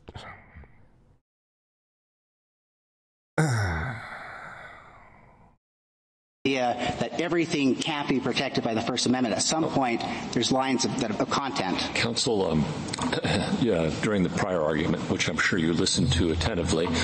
Yes, um, Your Honor. Lochner was a hundred years ago. no, let it go. No one wants to talk about Lochner. Uh, there, there, was some discussion about how uh, difficult life will be if these injunctions are dissolved and um, a parade of horribles and expenses and and difficulty geofencing uh, Texas or Florida. Can you address some of those concerns? Neil Gorsuch trying to show some mercy by giving this guy a softball. Hey, there were some of these concerns. Can you talk about any of that for a while? Neil over here trying to trying to do a mercy. Okay, Neil, let's see if you can figure out how to convert this, Neil. He just softballed you.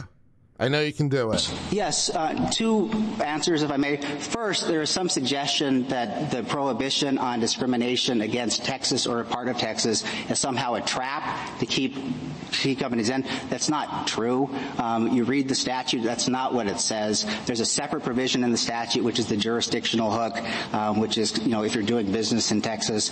And by the way, even if Texas tried to do that, there's something called personal jurisdiction uh, that you can simply just leave a, a forum. That's court's decision and Ford. So th- that argument is just not true. But the other part I think is really important about this is Texas's law. What is the remedy here? It's an injunction. Uh, there's no damages here. It's an injunction. And in fact, we know that it's not going to flood the courts because the injunction against the Attorney General is limited to um, the Attorney General. There's private enforcement of Section 7, and we have a handful of cases because you don't get damages. So it's hard unless you have a really darn good case to be able to go to court if nobody's going to get damages for prevailing. Um, which I think matters a lot in terms of like what are the real world consequences here. They're going to have some lawsuits by the Attorney General for injunctions. And if we can't prove it, if we can't prove viewpoint discrimination, they will prevail. Did you say they could stop doing business in Texas under this law? Yes, Your Honor. Of course. Um, I mean, it's it's true under the law, but it's also just true as a matter of personal jurisdiction. Anybody can get out of any jurisdiction. I just meant under the law. Correct. Yes, under the law. Yes, Your Honor. How does that How does that work? If you're talking about Facebook, I mean, if somebody were emailed and all that, if they send something into Texas, are they doing business in Texas? Uh, no, Your Honor. Though that would be a fun personal jurisdiction case. Uh, the answer, as I understand it, is you have to purposely avail yourself of the forum. So merely because somebody can look at your website, if you're not having some purposeful direction towards the forum, that's generally not sufficient. No, no, these, it's a worldwide sort of thing, and people are going to be sending stuff left and right, and you know that uh, as, as, as the company. I'm not sure. I don't see how they can wall off Texas from the activities of the social media platform? Well, I mean, two answers. One, they can. They have the technological ability. It's called geofencing, which they can carve off. I mean, if they wanted to, they could probably carve off this building itself. They have the ability all the way down to that granular level. Um, but, but again, more than that, it isn't just the, it shows up there. If you want to have a, an account with Facebook or Twitter or any others, like there's a contractual relationship between the two. So they have customers that are in these places. And people say, well, they don't have any customers because they're not charging any money. Well, we know that if they're not charging any money, like you're the you're the product. Um, so they're taking your data and they're selling it to the average. Did they did they find this guy on Reddit? Is is are we are we hiring lawyers from a Reddit forum? Ugh advertisers, which is why it's so important that we recognize that if this algorithm is protected by the Constitution, then they can take that data and sell it to people and have highly targeted ads based on socioeconomic characteristics. The New York brief explains that on page 12, which I think is important and doesn't shouldn't get lost in this. Uh, they pick again the most vile examples, which are the fanciful things that we don't usually do in a facial posture, and they try to say, well, that means the whole law should fail. There's a whole lot of perfectly fine applications that the court needs to remember and not lose sight of. What, what about uh, terrorist speech? How's that handled? Yeah, um, so uh, a few ways. Um, the first response that I would have to that is the provision of the statute that they ignore, which is no user has to receive anything they don't want. Right, that still allows the communication sure, okay. of it, so that's all right. Not... Let's, let's, go through that there. So now, now we're now we're most of the universe is gone, but the next level of this under Texas law, if it's illegal, they don't have to do that either. So I'm assuming that a lot of the terrorism is going to be, you know, like we're inciting you to come join Hamas or something like that. No, no, no, no. Just the pro Al Qaeda kind of messages that were common. Okay. Pre 9/11, post 9/11, not necessarily incitement, but advocating. Okay, sure. yeah. So we put aside the first two yeah. levels here. Third, they're allowed under the statute to pick any categories they want.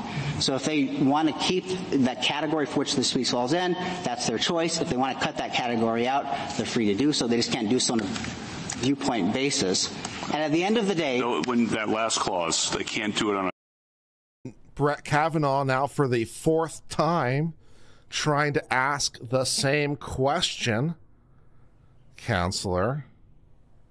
Ugh viewpoint basis, how does that work with terrorist speech?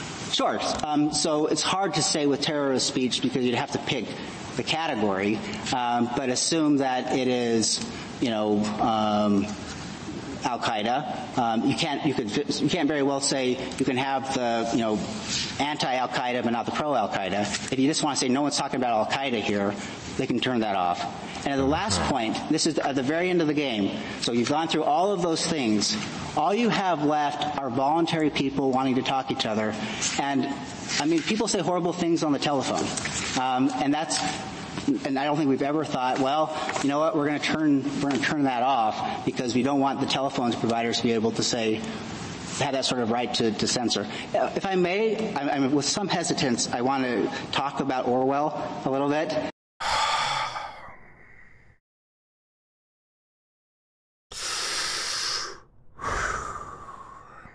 He wants to talk about Orwell.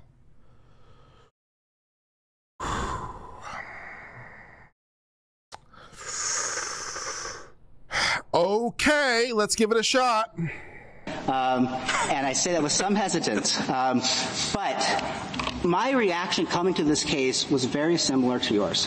Um, I looked at this and I'm like, wait a minute, these are companies, they have their own rights. Um, we don't generally think of censorship as something from, the, from private people, that's the government. Here's how I came around on this. Maybe it'll persuade you, maybe it won't. I came around on this to say this is something further up the food chain than that ordinary level of political discourse. This is just the type of infrastructure necessary to have. Okay.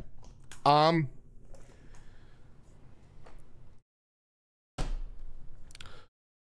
All right, uh, Chekhov's Chekhov's gun. Um, you don't have a gun hanging off the mantle unless it's going to fire. While I think it's probably almost an exceptionally bad idea to talk about Orwell, if you say, I'm going to talk about Orwell, you know what you should probably talk about? Orwell.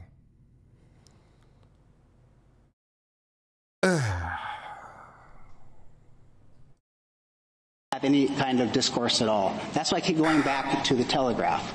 This isn't, you know, the self, the level of discourse where they're making the content decisions that we make our decisions based on. This is the infrastructure that we need to have any sort of discourse at all. So if we say we want to have that type of infrastructure, not have, you know, censorship oh my God. on it. Oh my God, I read ahead. A... oh my God, I read ahead. I'm so sorry. Oh no. Oh no. Oh, I'm so sorry. I read ahead. Uh, my my eyes, my eyes. No, no, don't do it. Don't say it. No. No. Oh, no. Shit. All right, all right, kids. Let's go ahead and do this. Holy shit. Rapid, a massively increased federal government um, because it would have to control all the infrastructure. And then we would have, okay, now you can't discriminate based on this kind of infrastructure of how things work. That's not, I mean, that is Orwell right? Um, so for me, the answer is for these kind of things like telephones or telegraphs or voluntary communications on the next big telephone telegraph machine, those kind of private communications have to be able to exist somewhere. You know, the expression like, you know, sir, this is a Wendy's.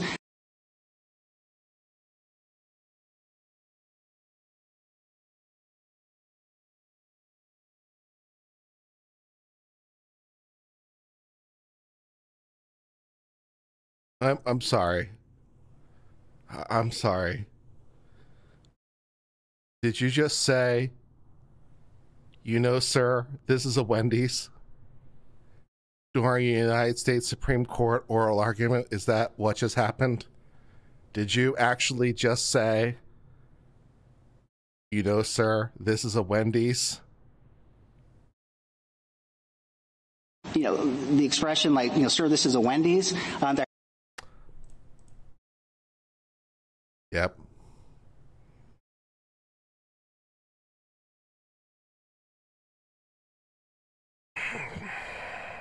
Yep. Yep. Um. Okay.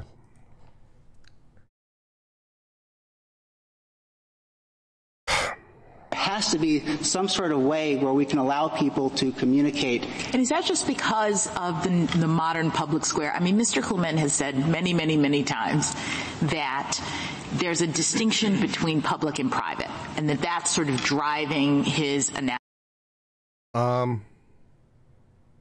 Also, um, the United States Supreme Court is not, in fact, a Wendy's.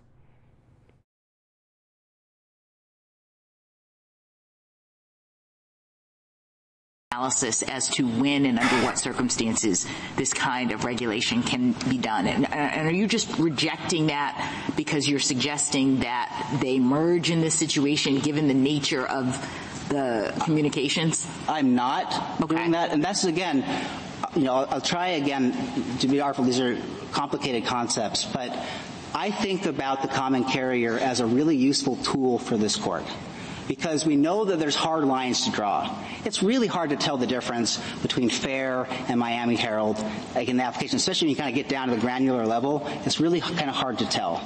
I think it would be helpful if the court had a compass that could kind of like give it some direction of where to draw those lines. And common law, common carriage is that compass. But are you suggesting that a common carrier, as the SG pointed out, could never have First Amendment protected activity? I mean, that's why I keep going back to. Yeah, yeah. Lol, these are complicated concepts that you yourself don't understand. We're, we're one step, if that. I'm not even sure we're one step removed. We might just literally be the dude. You know what? There's a lot of ins and outs, a lot of complications. This is a complicated case, man.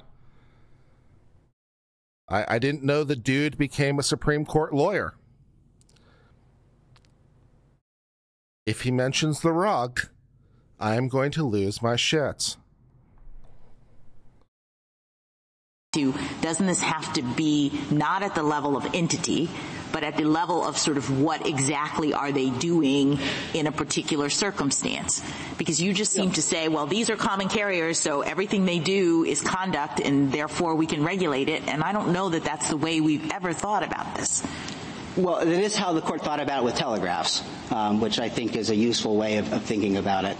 I mean, my friend in the government says, um, well, you know, they're just transmitting speech. But that's totally question begging because they have the technological ability not just to do that. The reason that cell phones don't like screen your calls or um, telegraphs didn't like. Well, Mr. Nielson, I'm sorry to interrupt, oh, sorry. but, but I, I, I think You'd agree with Justice Jackson, though, that there might be some speech that the, these carriers, even as a common carrier, would be their own. 100%, yes, and, and you do have to take that function by function. Yes, and that's the other part of this law, which I think is so important, is to recognize is we don't say one word about what they can say. Um, so I would kind of disaggregate the functions of what's going on here. They have the one function, which is they are creating a message. We do nothing about that. No, the, the telegraphs part is fine. That that part is fine because he's referring to case law. We discussed that when when New York was regulating Western Union. So talking about the telegraph in this context is is lucid. I know it's a bit surprising, but it, is lucid as a concept. But uh, the Wendy's part, not not as much. So yes, the telegraph is relevant. Not as much the Wendy's. They can say whatever they want about specific posts or anything, and that's fine. But there's a separate thing that they do, which is facilitate conversations between two people, which is like a phone. I understand that. Now, now one of the things that we've sometimes looked at in the past, this court, I mean, uh, in the common carrier world, is market power. Yes, Your Honor. Um, and how do you analyze that here. On the one hand, uh, there are network effects that one would take account of in any analysis of, of, of market power, and that might might help you. On the other hand, uh, this is a bit unlike a telegraph in the sense that there might only be one right of way to run the wires, and it might be serious practical barriers for more than one set of wires. Here, uh, one can start a new uh, platform, at least in theory, anytime. Yeah. Um, so I guess fewer barriers to entry, but market effects. Sure. So the first answer is if we are not talking about speech, if we're just in the world of conduct, then we're not talking about market power at all. Um, and we know that because cell phones are intensely competitive markets, and yet they're still all common carriers. Um, but let's move that aside. Now we're saying there's some sort of you know reason to focus on market power. Um, it's true. Um, this is not like the market power of there's just one bridge. Um, but as an economic matter, there's really no difference. Um, and I know this, here's a, a, simple kind of a way to look at it. Um, Twitter um, has its, its, its, platform. There's a lot of competitors for Twitter, would-be competitors, including Threads from Meta, which is backed by like one of the largest companies in the world. They invested massive amounts of money to try to break up the Twitter monopoly, and they failed miserably. So what, what do we do about, I mean, there's some legislative what the what the fuck are you talking about? I, I, I don't even know. I don't even 100% know what you're talking about. Uh, the next Twitter probably isn't Twitter. Uh, the next Twitter something completely different. Probably. Because Twitter was different. There wasn't something like Twitter until there was. Right? Uh, so the next, and Instagram's different than Twitter. And, you know, there's a lot. Uh, so the next thing is a different thing, probably. And Twitter isn't guaranteed the future.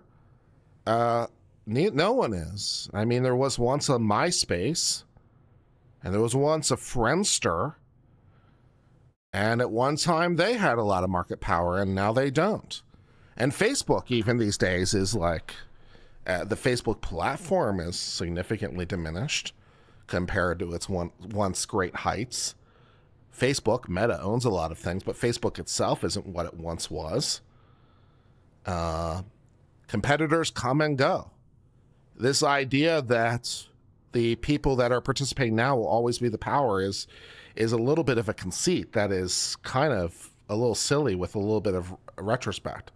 Not for nothing, of course, there was a time in the not too distant past when they were talking about the newspaper barons and how much power they had. And Carnegie and those kind of people, right? And don't don't argue with people who buy ink by the barrel. There was a time when the newspaper barons had all the power, and now they don't have as much power as they used to. And th- there, you know, and th- there was competitors for the technology, competitors for eyeballs. Um, you know, it's the next the next thing that's going to compete with Google or Facebook or any of these people. Just because you have a lot of money doesn't mean you you're going to have success, and just because you have no money doesn't mean that you don't there could still be a nascent person who comes onto the scene and explodes the scene, and it's a completely new social network from nowhere. I mean, you know, they have to have a unique value, value proposition probably, but you know, if they can do it, they can do it. So like, I'm not even sure what we're talking about this this at this point. It's almost like you're arguing that Facebook and Twitter and Instagram and any you know and Snap and, and whoever else are always going to be these huge market leaders. They'll be using these and and YouTube for that matter. There'll always be huge leaders.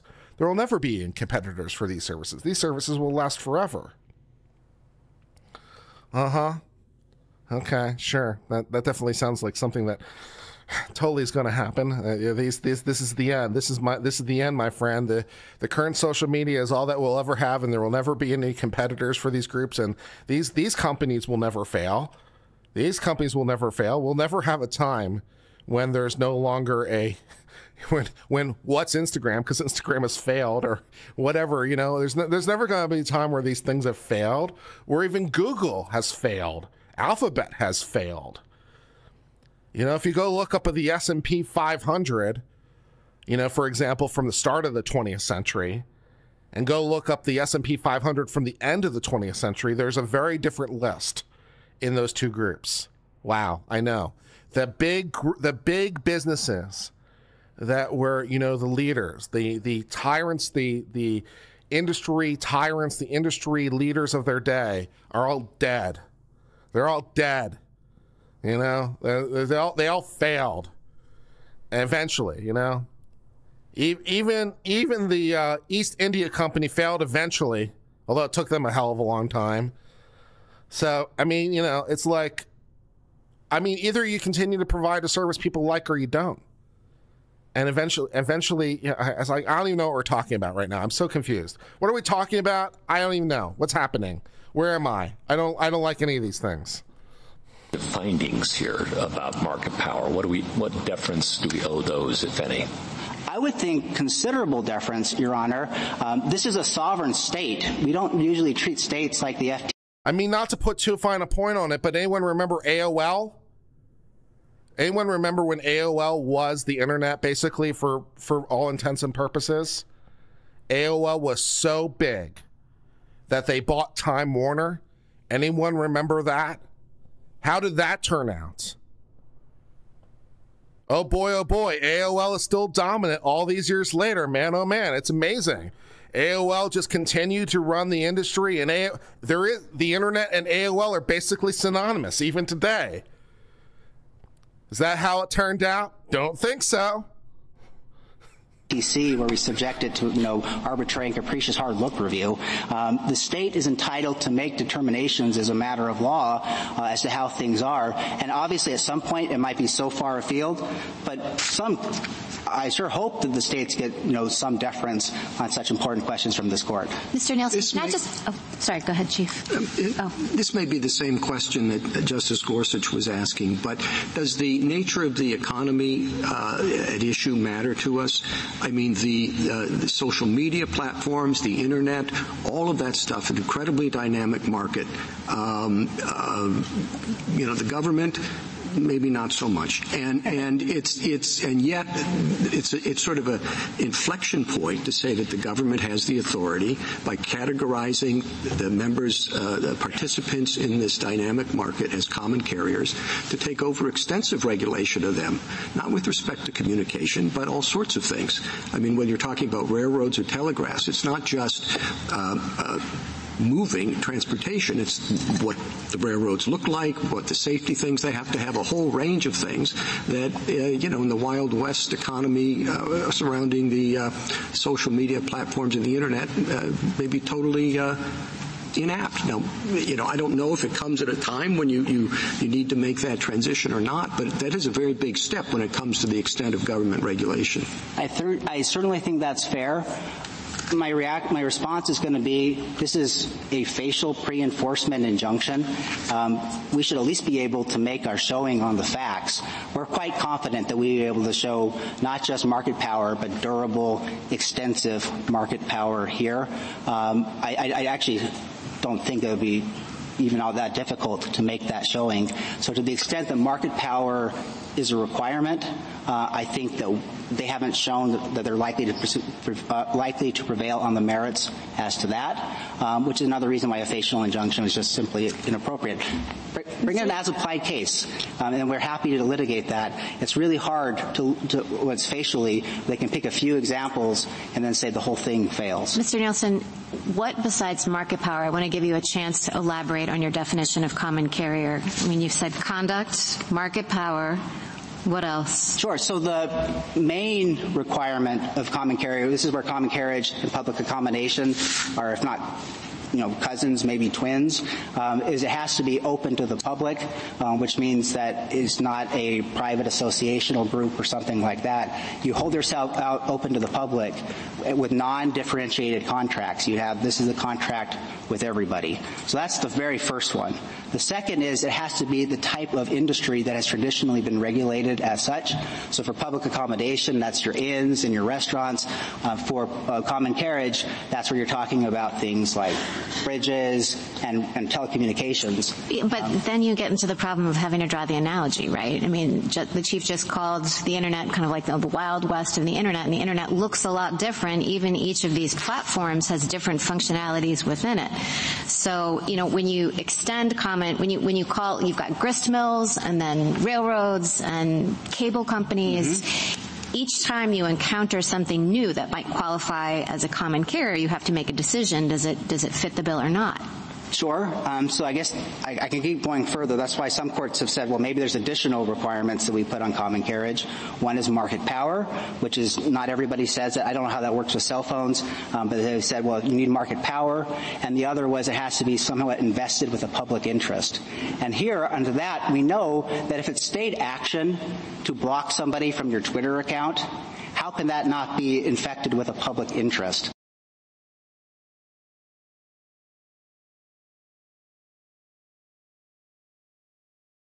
What the fuck are you talking about?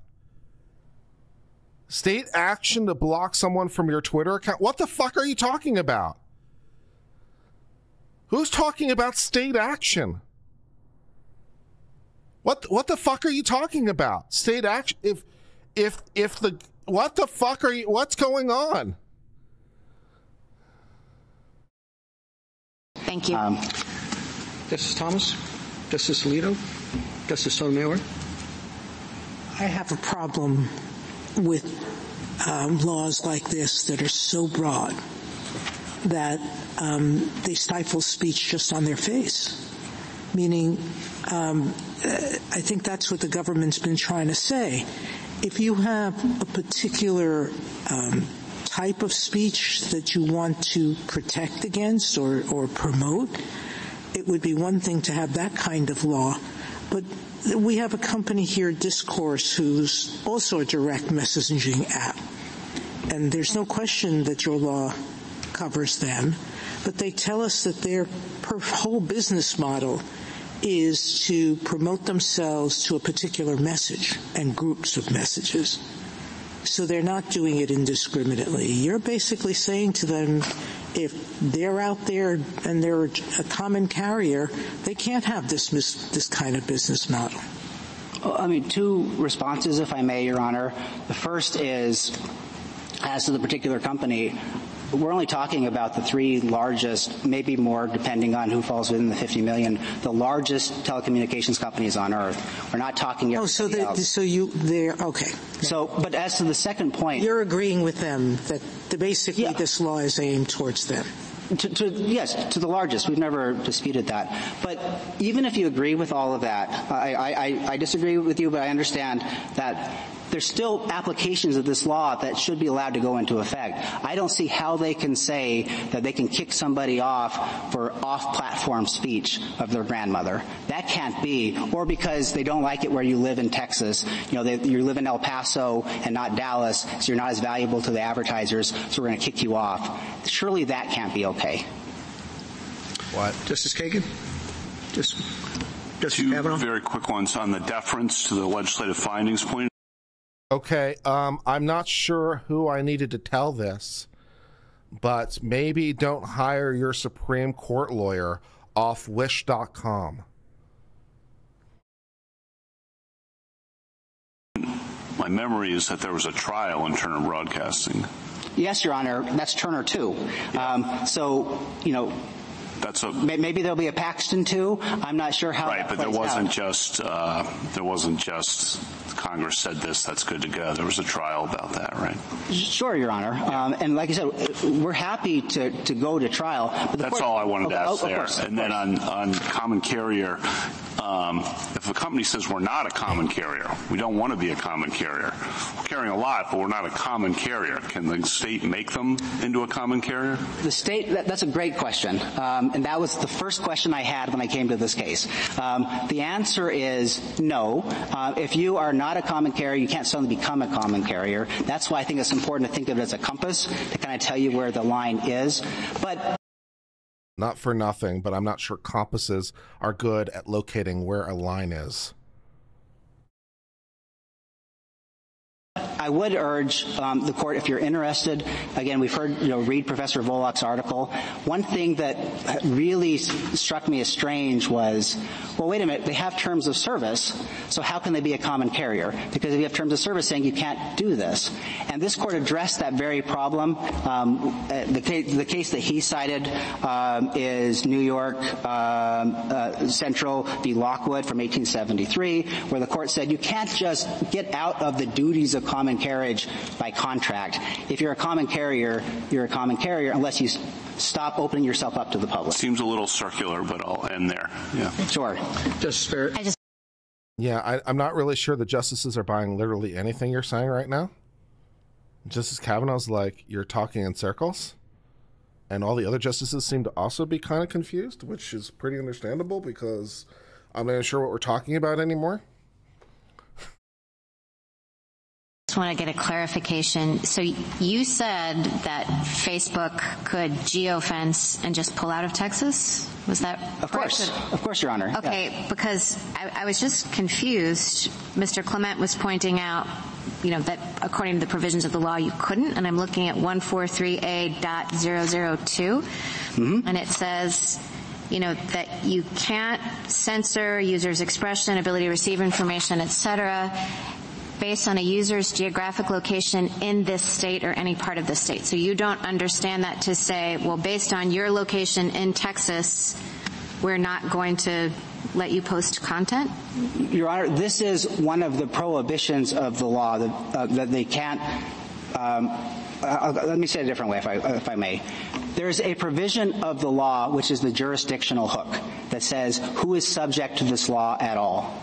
If you choose to do business in Texas, then this provision kicks in, and you can't discriminate against people after you've chosen to do business in Texas based on the status that they're in Texas. But if you don't want to do business in Texas at all, that's a separate provision, and you can get out of Texas. This is the prohibition on what you can't do. If you choose to do business in Texas, you can't darn well discriminate against somebody because they're in El Paso. And doing business in Texas is is what? Just allowing Facebook users to sign up in Texas, or is it you know Facebook accepting ad money from Texas corporations? That question has not been resolved by any of the Texas courts because none of them have been. Um, but as I read it, it is you have to have you know customers in Texas. You've entered into contractual relationships with Texans. Thank you. Justice Jackson? So Justice Barrett had exactly my same thought, and I just want to clarify. So this doesn't speak, in your view, to a business decision not to offer services in Texas because, for example, their requirements are too burdensome. Instead, this is you're offering business in Texas and everywhere else, but you are pro- prohibiting them from discriminating against people on the basis of their geography, meaning they're in Texas? Yes, Your Honor. Thank you. Thank you, counsel. Rebuttal, Mr. Clement? Um, so I don't know what just happened. Uh, I don't know. I don't know why Mr. Paxton couldn't find a better lawyer than this guy. Uh, I'm not sure who makes that decision, but um, Maybe I should throw in a bid for the Solicitor General's office of the state of Texas because apparently they need help or something. Um, I, I, I, don't know. I'm not even 100% sure what we're talking about for a lot of that portion of the argument. I mean, I know what Paul Clement and I know what Prelogar were talking about. I, I know exactly what they were talking about. I'm not 100% sure what, what we were talking about with him. Except we were talking about Wendy's for some reason. And I, I don't know. Maybe everyone has the right to a Frosty. I, I don't I don't know. I don't I don't know. I don't understand what happened. Sir, this is not a Wendy's. I'm going to die. I I I I am still I'm still gobsmacked. I am still gobsmacked. That was the line that I had read where I basically collapsed. I was like, I can't because I accidentally read it. It was like four lines down from where we were at the time.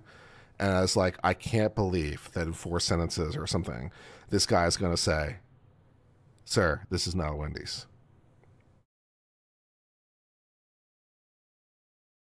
Um, yeah, it's been it's been a while. Uh, the the the mention the repeated mentioning of Lochner wasn't great either, because like no no one wants to talk about Lochner. Uh, no one wants to talk about that. Um, but at least Lochner was a Supreme Court case in error. I mean, there there is that. Uh, it's not really something anyone really wants to talk about, but uh, you know, uh, um, uh, Wendy's, however, somehow gets a shout out at the U.S. Supreme Court. So I guess that's nice. Um. Okay. Let's listen to Paul Clement wrap this up with, you know, things that are relevant to this discussion.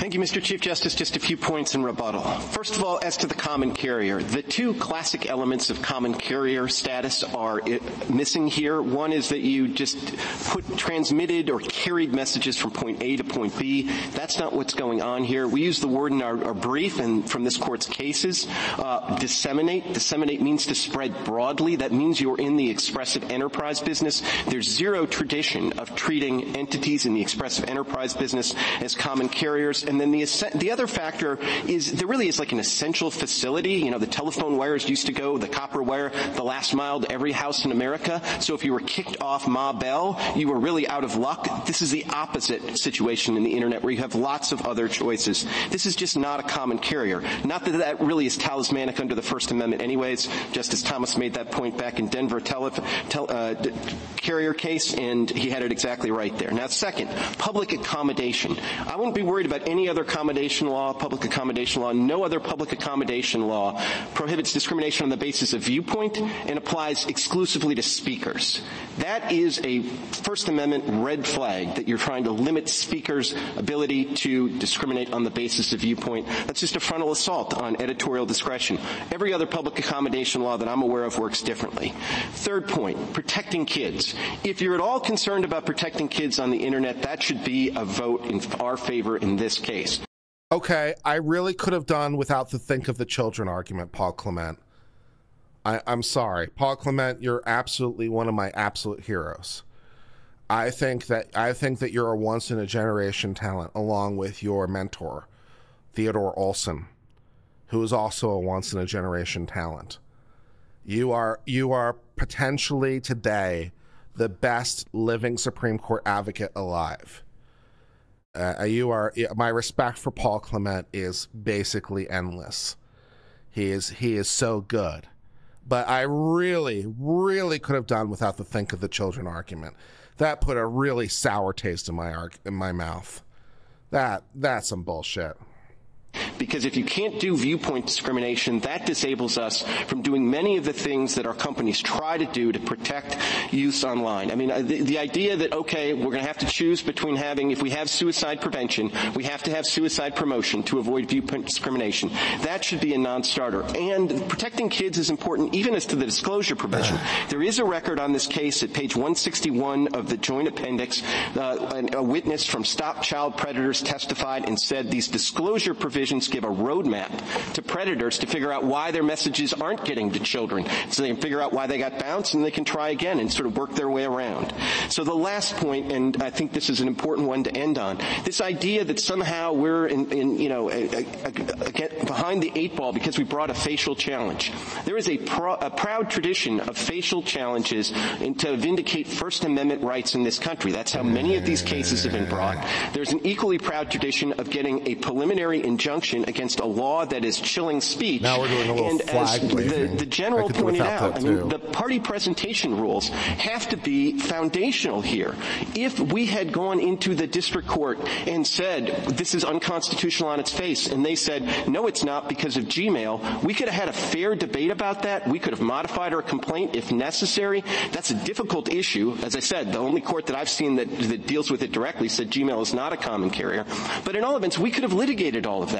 But the plaintiff's burden is not to think of any theory the government can come up with appeal and then foreclose it in the district court. Thank you. Thank you, counsel. All counsel. The case is submitted. I could have done without the appeal to emotion at the end.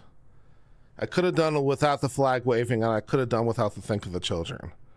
So not not my favorite rebuttal close, but you know that's okay. But Prelogar was still the best. She she she she is just too beautiful. It is is too it is not fair. Prelogar was Miss Idaho twice. This is like and and and, and she's this good. Um, that's that's just unreasonable. That's just unreasonable. No, no. Well, actually, three times if you count the junior pageants. So, yeah, she was Miss Idaho three times. Um, so that yeah, so and she, and she's kicking absolute ass and taking names. So, uh, but uh, yeah, the I could have done without the think of the children and the uh, the uh, flag waving at the end. But I think you can justifiably rescore this based on Texas's sorry presentation. I went into this pretty confident. Well, I went into it optimistic. I'm not sure confident is quite right. Confident sounds overstated. I went into it optimistic that the Fifth Circuit decision would be upheld. And thanks in no small part to Texas's advocate, I am less confident. Because as one of the people pointed out in chat, something I've said before, which I believe is true, when it comes to oral arguments, you cannot win your case in oral argument at the Supreme Court, but you can lose. You can't win at oral argument, but you can lose. And yeah, this this was this was more on the he's doing dam- active damage to his side. So I, I would justifiably rescore the probabilities based on this. So now I would imagine that we're looking for a narrower decision if we get one that affirms either either one. And you could and they might I, I think I think the Supreme Court is likely going to try to come up with a decision that speaks to that upholds something in one of the two statutes. I don't think they're going to strike both statutes completely down. They're definitely not going to uphold Florida's in full. That seems incredibly unlikely. Florida's provisions had a had some special protections for politicians. They literally put a carve out in the Florida version that basically said you have to host political candidates, and they gave them like special protection. It's like no, no, that's that's that that's not going to fly, right? So that that that's not going to fly. So Florida's version definitely is not going to survive. Um, there's some there's some stuff in Florida stuff with notice provisions though, in terms of the notice of the rules and having to make them clear. So those provisions might withstand the test of the, the test here. And as for Texas, uh, yeah, I'm not sure what the Florida, I'm not sure what the U.S. Supreme Court is going to do. But if I had to bet, if I had to bet, they're going to come up with something narrow. They might overturn. They I, they might overturn. They might overturn everything at, with guidance, right? So they might overturn everything with some guidance or some notes on a forward-looking basis, or they're going to uphold small parts with some notes. They're not going to do anything, I think, overly dramatic right now because, well, the Supreme Court is conservative in every possible sense. They don't want to do things, and it is a volatile area, and there's not a lot of case law that's out there, and they don't want to. uh, They don't want to speak incredibly broadly because we don't know what other states might want to do in the future. Of course, because if Florida and Texas can do this, then so can Oregon and California and Illinois. And they might be able to do it in ways that conservatives don't like, depending on exactly what we want to do. So we do want to make a decision without breaking everything which is the tricky part, right? You want to you want to you want to fix it without breaking everything. So that that is also the problem for the legislature, right? So it's like the problem the problem is conservative speech is being unduly censored. It's like, okay, well how do we fix that without also breaking everything? It's particularly when it comes to the First Amendment. And I don't think that I agree that you can't treat this as a as a common carrier. That doesn't make sense in principle. That you can't treat it as a common carrier. I don't really think there's enough daylight between what the telegraph does, which by the way, for some of you who apparently don't know what a telegraph is, that's the old Morse code. It's when you had a switch. You had a switch that went right? You just have a person with a key literally sending messages in Morse code that, that went on a wire right? So you and that sends an electrical impulse on a wire and goes 2,000 miles and is received by another key that sends out the thing, right? And that's that's the telegraph. So that that's the telegraph. It's when you're sending it's when you're sending digital pulses using a key, a, a hand key. That's the telegraph. Since I apparently have to explain that to some people. But I don't think that really and in the case of both the telegraph and the telephone, you have, you know, you, you I, I guess maybe you're not broadcasting, but I don't really know that there's enough in it to say, well, they're not broadcasting. I mean, because you know, what is what is a broadcast? I suppose in some sense, um, is a little tricky. Like, you know, how many people are sending the message and how many people are receiving the message? you know, is is not necessarily clear, particularly if you think about a phone line. Like how many people are on the call and how many people are receiving the call, right? So it's not necessarily clear how many people are in that. Is that different because, you know, if you had, you know, everyone in the nation on the phone call, is that different than a broadcast? Because it's it's only a multicast. Is that different? I'm not really sure that this strikes me as different.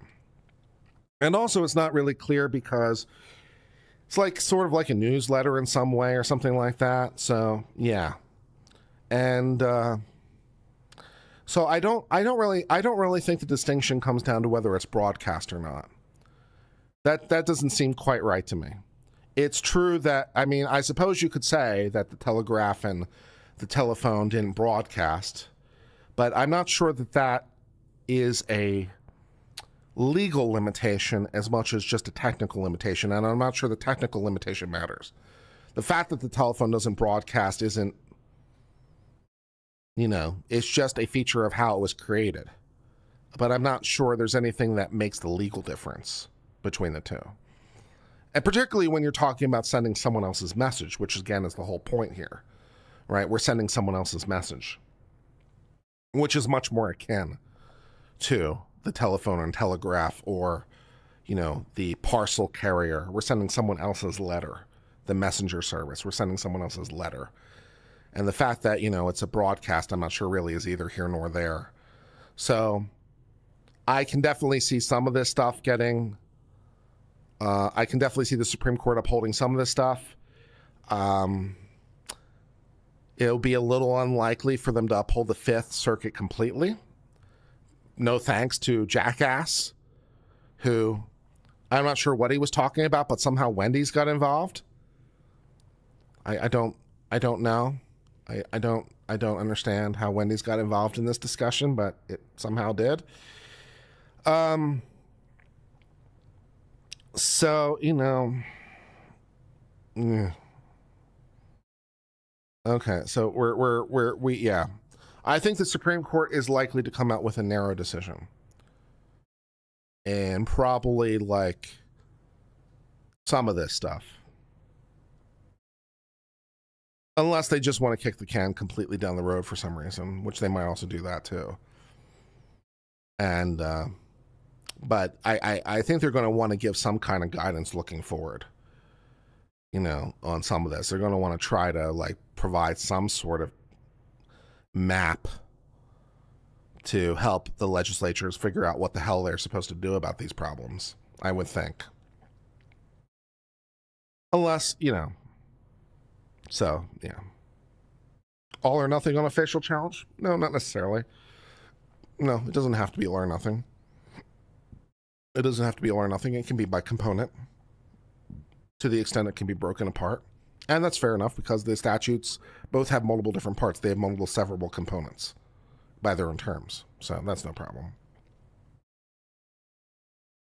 If he really was from Texas, he said would have said Whataburger. I tell you what, Whataburger, Whataburger is massively out of, overrated. Who decided that Whataburger was supposed to be a good? Who who's trying to convince people that Whataburger is a good restaurant? Whataburger sucks. Of the many things of Texas to be proud for, Whataburger isn't isn't it. At least Dairy Queen makes good ice cream. They can be proud of that. How about that one? Isn't the a real argument nothing they can do because interstate commerce? No, that isn't the the real argument, right? Because because Congress can preempt the field. So Congress could pass a law that preempts the field, but they haven't and much much by their own choice to some degree. I mean, CDA 230 does do it to some degree, but not completely. I mean, that was sort of part of the debate, the degree to which 230 does or does not preempt. And I don't think I don't think that's what's going to be the thing. I don't think that the preemption of 230 is what's going to really be driving this. I could be wrong, but I, I don't really I don't really think the Supreme Court is eager to get into the finer points of 230 right now. You know, I don't really think they're going to get into what is good faith. I don't think they're really going to get into what otherwise objectionable means. I don't really see them doing that. So I don't really see them relying on 230. I don't really see them saying preemption because if they say preemption, then they have to answer those questions. I don't think they want to right now. So I think they're going to look for another solution other than preemption. So Congress certainly could pass a law but other than 230, no law applies, I don't think. And uh, therefore, if Congress hasn't preempted the field, it's therefore naturally left to the states because that would make sense.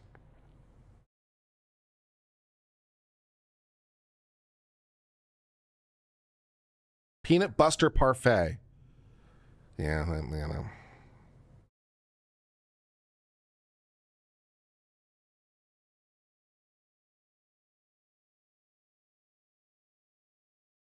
And Congress isn't going to do anything. It took them long enough to pass the Communications Decency Act in the first place. And it's turning 30 years old pretty soon. Culver, Culver is better than Dairy Queen. I respect that. I respect that choice. So I'm really looking forward to this. I'm really looking forward to this. But I think the Texas Advocate kind of sucked. Somehow we got into a Wendy's. I, I don't know. I don't know. It broke me. It broke me inside. It broke me inside. Was he trying to make a joke? It didn't work.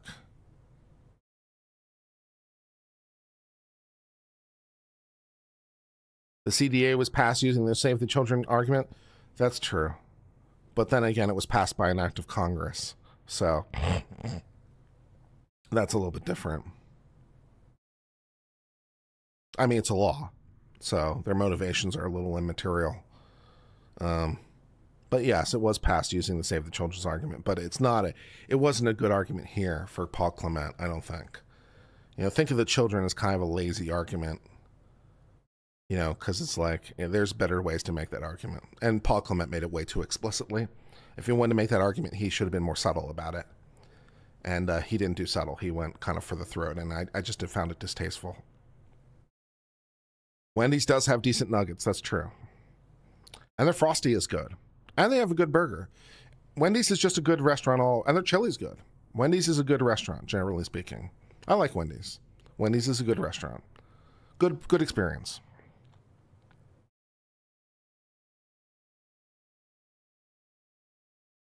Is there a timeline for decisions?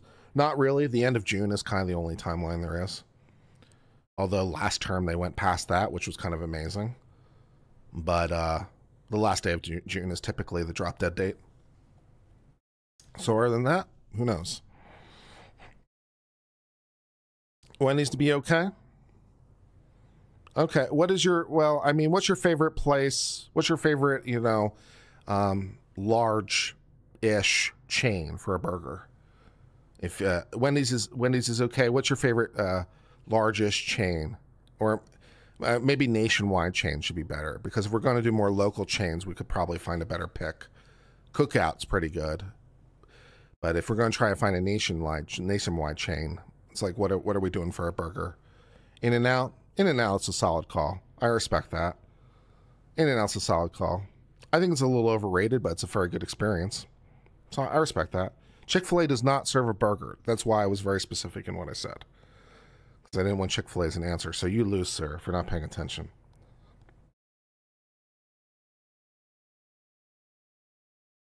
If uh, Five Guys wasn't so outrageously expensive, Five Guys would be a worthy worthy candidate, but they're just so expensive. In and Out isn't national.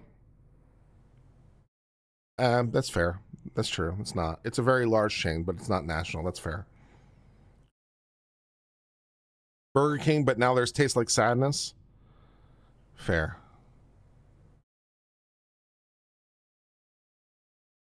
I was trying to find pictures of Prelogar from her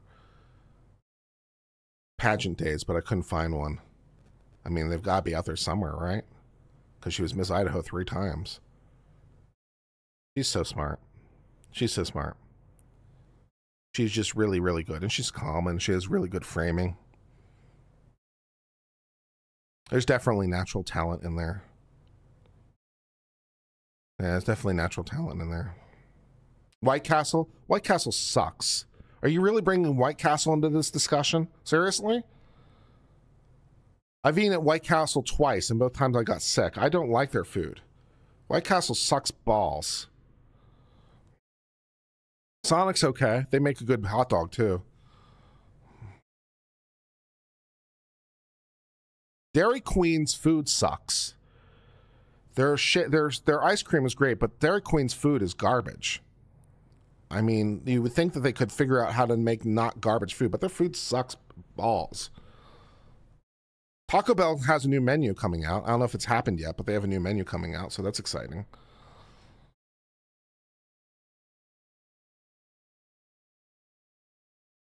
Dairy Queen cheese curds are legit. Respect. Krystals? Krystals sucks, yeah. McDonald's? McDonald's isn't half bad sometimes. It's not great. And they did just do a revision on their um, their food uh, it was a, it was a, they, they did just try to make their, I think um, they switched to non-frozen meat for all their burgers. There was, there was a press article about it, so you can go read it up. But I think McDonald's recently switched to non-frozen beef for all their for all their burgers, and they recently made some other tweaks to their items. So they changed their prepping and, and cooking method. So they're a little bit different. So you can go look into that.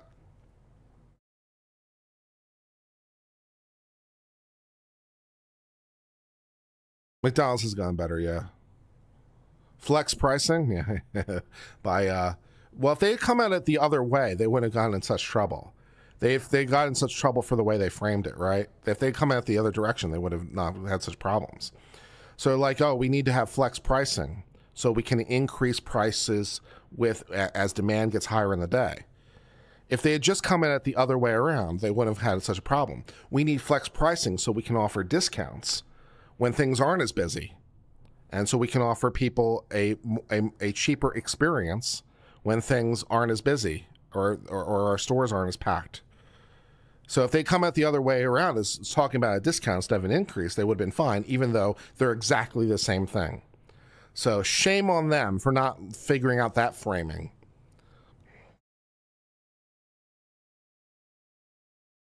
Yeah, discount at non-peak hours. If they had just come in from the exact opposite direction, they would have been fine.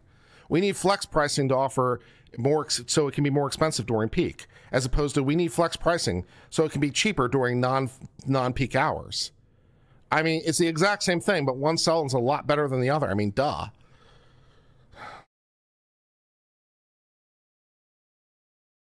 Shake Shack. Shake Shack is a good burger. And also, um,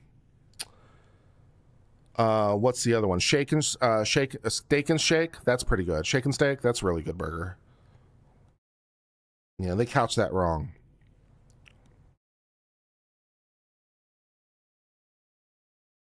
Yeah, yeah. So they just came at it from completely the wrong direction.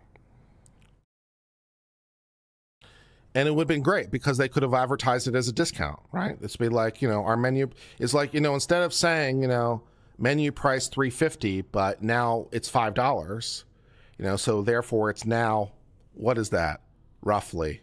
And now I have to do math. 50% more expensive. Give me a break. Right? So instead of saying 50% increase, all they have to do is say, "Oh, it's $5." But now we're offering it 350. Now it's basically a third off right? And that sounds a shit ton better, even though they're literally the same thing. So it's like, yeah, it's it's yeah.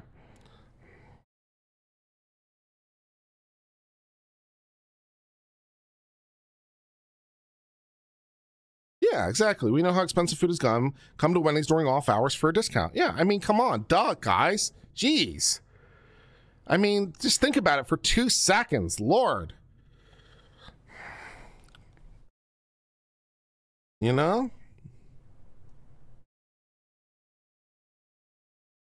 They need a lesson from Men's Wearhouse. They need a lesson from thinking about it for three seconds. That's what they need a lesson in. They need a lesson in thinking about it for three seconds.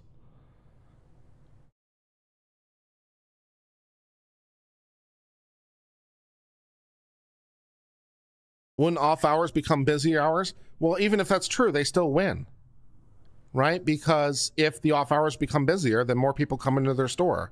That's good for them. They're happier. So they win no matter what happens, right? It's like, well, if more people come in during off hours, then that's good. So, you know, they're happy. Everyone's happy.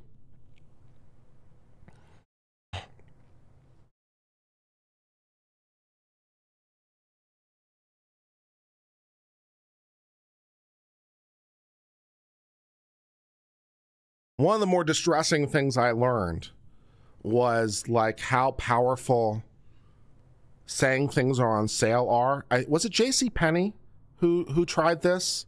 That was a failure, or was Sears? I forget. It was one of them. So J.C. Penney's or Sears, I forget what which one. Um, this is going a while back, obviously, when these you know companies you know had customers. So it's a while ago. But if you went into a J.C. Penney or you went into a Sears or whatever, it was J.C. Penney's. Okay, thank you. I knew it was one of them. If you went into a J.C. Penney's, you know, back in the day, it would say it would have the item. It's it would have the item marked at a price, and then it would be like, you know, they were basically always. It's like we're always discounting, right? It's like you know, thirty percent off sale, fifty percent off sale, right? So everything was there was always a perpetual sale right? It was always a perpetual sale, right? The price was marked, you know, on the thing. It's like, oh, the price is fifty dollars, but it was never really fifty dollars. You know, the price was always real. It was always thirty dollars because there was a perpetual sale, per, per, you know, perpetually. And um, so J.C. Penney, you know, they got complaints about this. You know, the fact is like, well, why don't you just make the price the price, right? I mean, if the price is really thirty dollars, why don't you just market thirty dollars? Why why do you market fifty dollars and then offer us a discount to thirty? You know, why are you in a perpetual sale? Why don't you just offer it at the price it is? So J.C. Penney tried it. They tried it. It's like okay, so they changed all their prices. They they remarked everything to the actual price and like okay, we don't have sales anymore. Now we just have everyday low prices. Everything is now, and it cost no more than it did before, and it was a complete failure. It was a complete failure. People hated it because people like the feeling like they're getting a discount, even though that didn't really exist. You know, so it's like it was a total and absolute failure. So it's one of those things. Is like, man, it really depresses you because the price didn't change. It was exactly the same price in reality, right? It was always thirty dollars in reality. It was always the same price in reality. It's like one version is like, oh, we're, we're pretending it's fifty dollars, but we'll offer it to you for you, friend, my friend, special price, thirty dollars. Versus it's just thirty dollars. People hated it. People hated it. It was a total failure. So there's something depressing in there about the human condition. So I think they tried it for like a year or two years before they gave up and went back. So, yeah.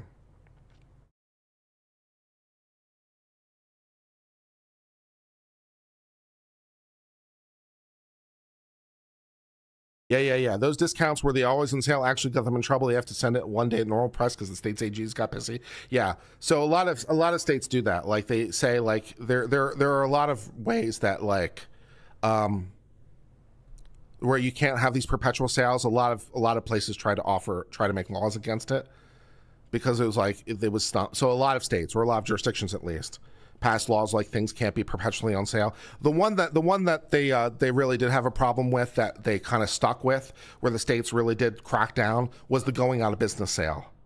That one stuck. So it's like, dude, you can't have a going out of business sale all the time. That's just not cool. If you're if you're you can't have a going out of business sale and then not go out of business. You can't do that. So that one's still in the books. Right? So you can't have the perpetual store closing going out of business sale. That you can't do. But um a lot of they tried to do it. It's like, well, you just can't offer sales all the time, so they just, you know, you know, periodically would be like, you know, for ten minutes, you know, some random day or something. It's like, yeah, now it's fifty dollars, and so a time when no one's in the store and stuff like that. So it didn't really matter. They found ways around it, but yeah, they they found ways around it to make the state's AGs happy, so it wasn't perpetually on sale. But yeah, they yeah, there, there's a thing in there. Uncivil law memberships are in fact sale for 99 cents. That's true. We offer we are offering a special discount this month. We are offering a special discount this month. Normally uncivil law memberships are $3, but we are offering a special discount this month. Uncivil law memberships are only 99 cents. So if you join this month, you get to lock in that price at 99 cents instead of the normal $3. So make sure to subscribe to Uncivil Law today. Yeah, yeah, yeah, yeah, yeah. So, uh, good times. Yeah, maybe we should try. Maybe I should try that more. Maybe I should try that more. See if that works.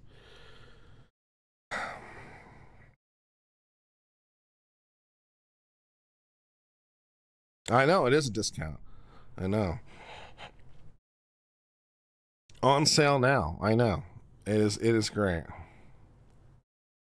All right, guys. I, I mean I mean, I don't even necessarily have to lie because we do have the upper memberships, right? We do have a membership at the 6.99 tier. So I could be like, you know, our normal memberships because what's normal? I mean, they do exist perpet they do exist eh, eh, normally, so it's not even a lie, right? So I don't even have to lie be like our normal membership because it is a membership that exists normally. Our normal membership is six ninety nine, but because of you, because I like you guys, I am now offering, even though I was offering before, but I don't have to make that part particularly clear. I am now offering a special membership at only ninety nine cents. That's right. Instead of the usual six ninety nine, now only a special membership for 99 cents. So get in on that and get our special membership offer, limited time offer because you know there's the heat death of the universe. Limited time offer. Make sure to get in today.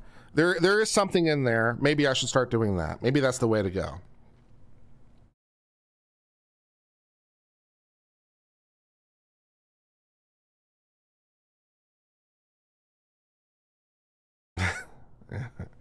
All right, guys, I'm going to sign off for now. We've had lots of fun.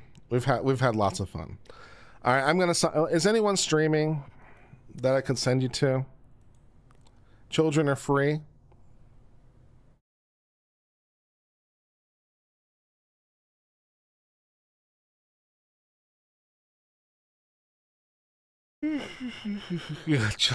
children, children, we have free candy.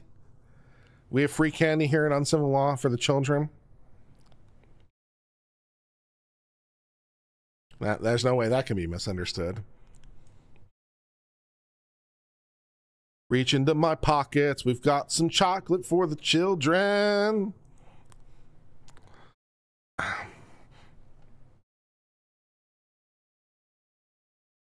Uh, man. Uh, let's see. I'm going to send you. What is.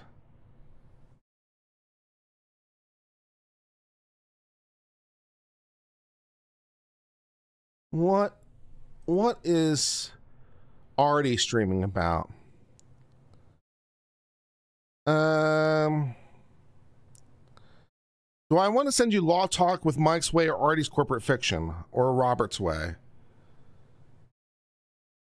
When is when is uh, Natalie Lurchik going? She's going March 20th. That's tomorrow. She schedules her things a whole day in advance. That's too long. I'll send you Law Talk with Mike's Way. Why not? All right, guys. I'll talk to you soon. Until later.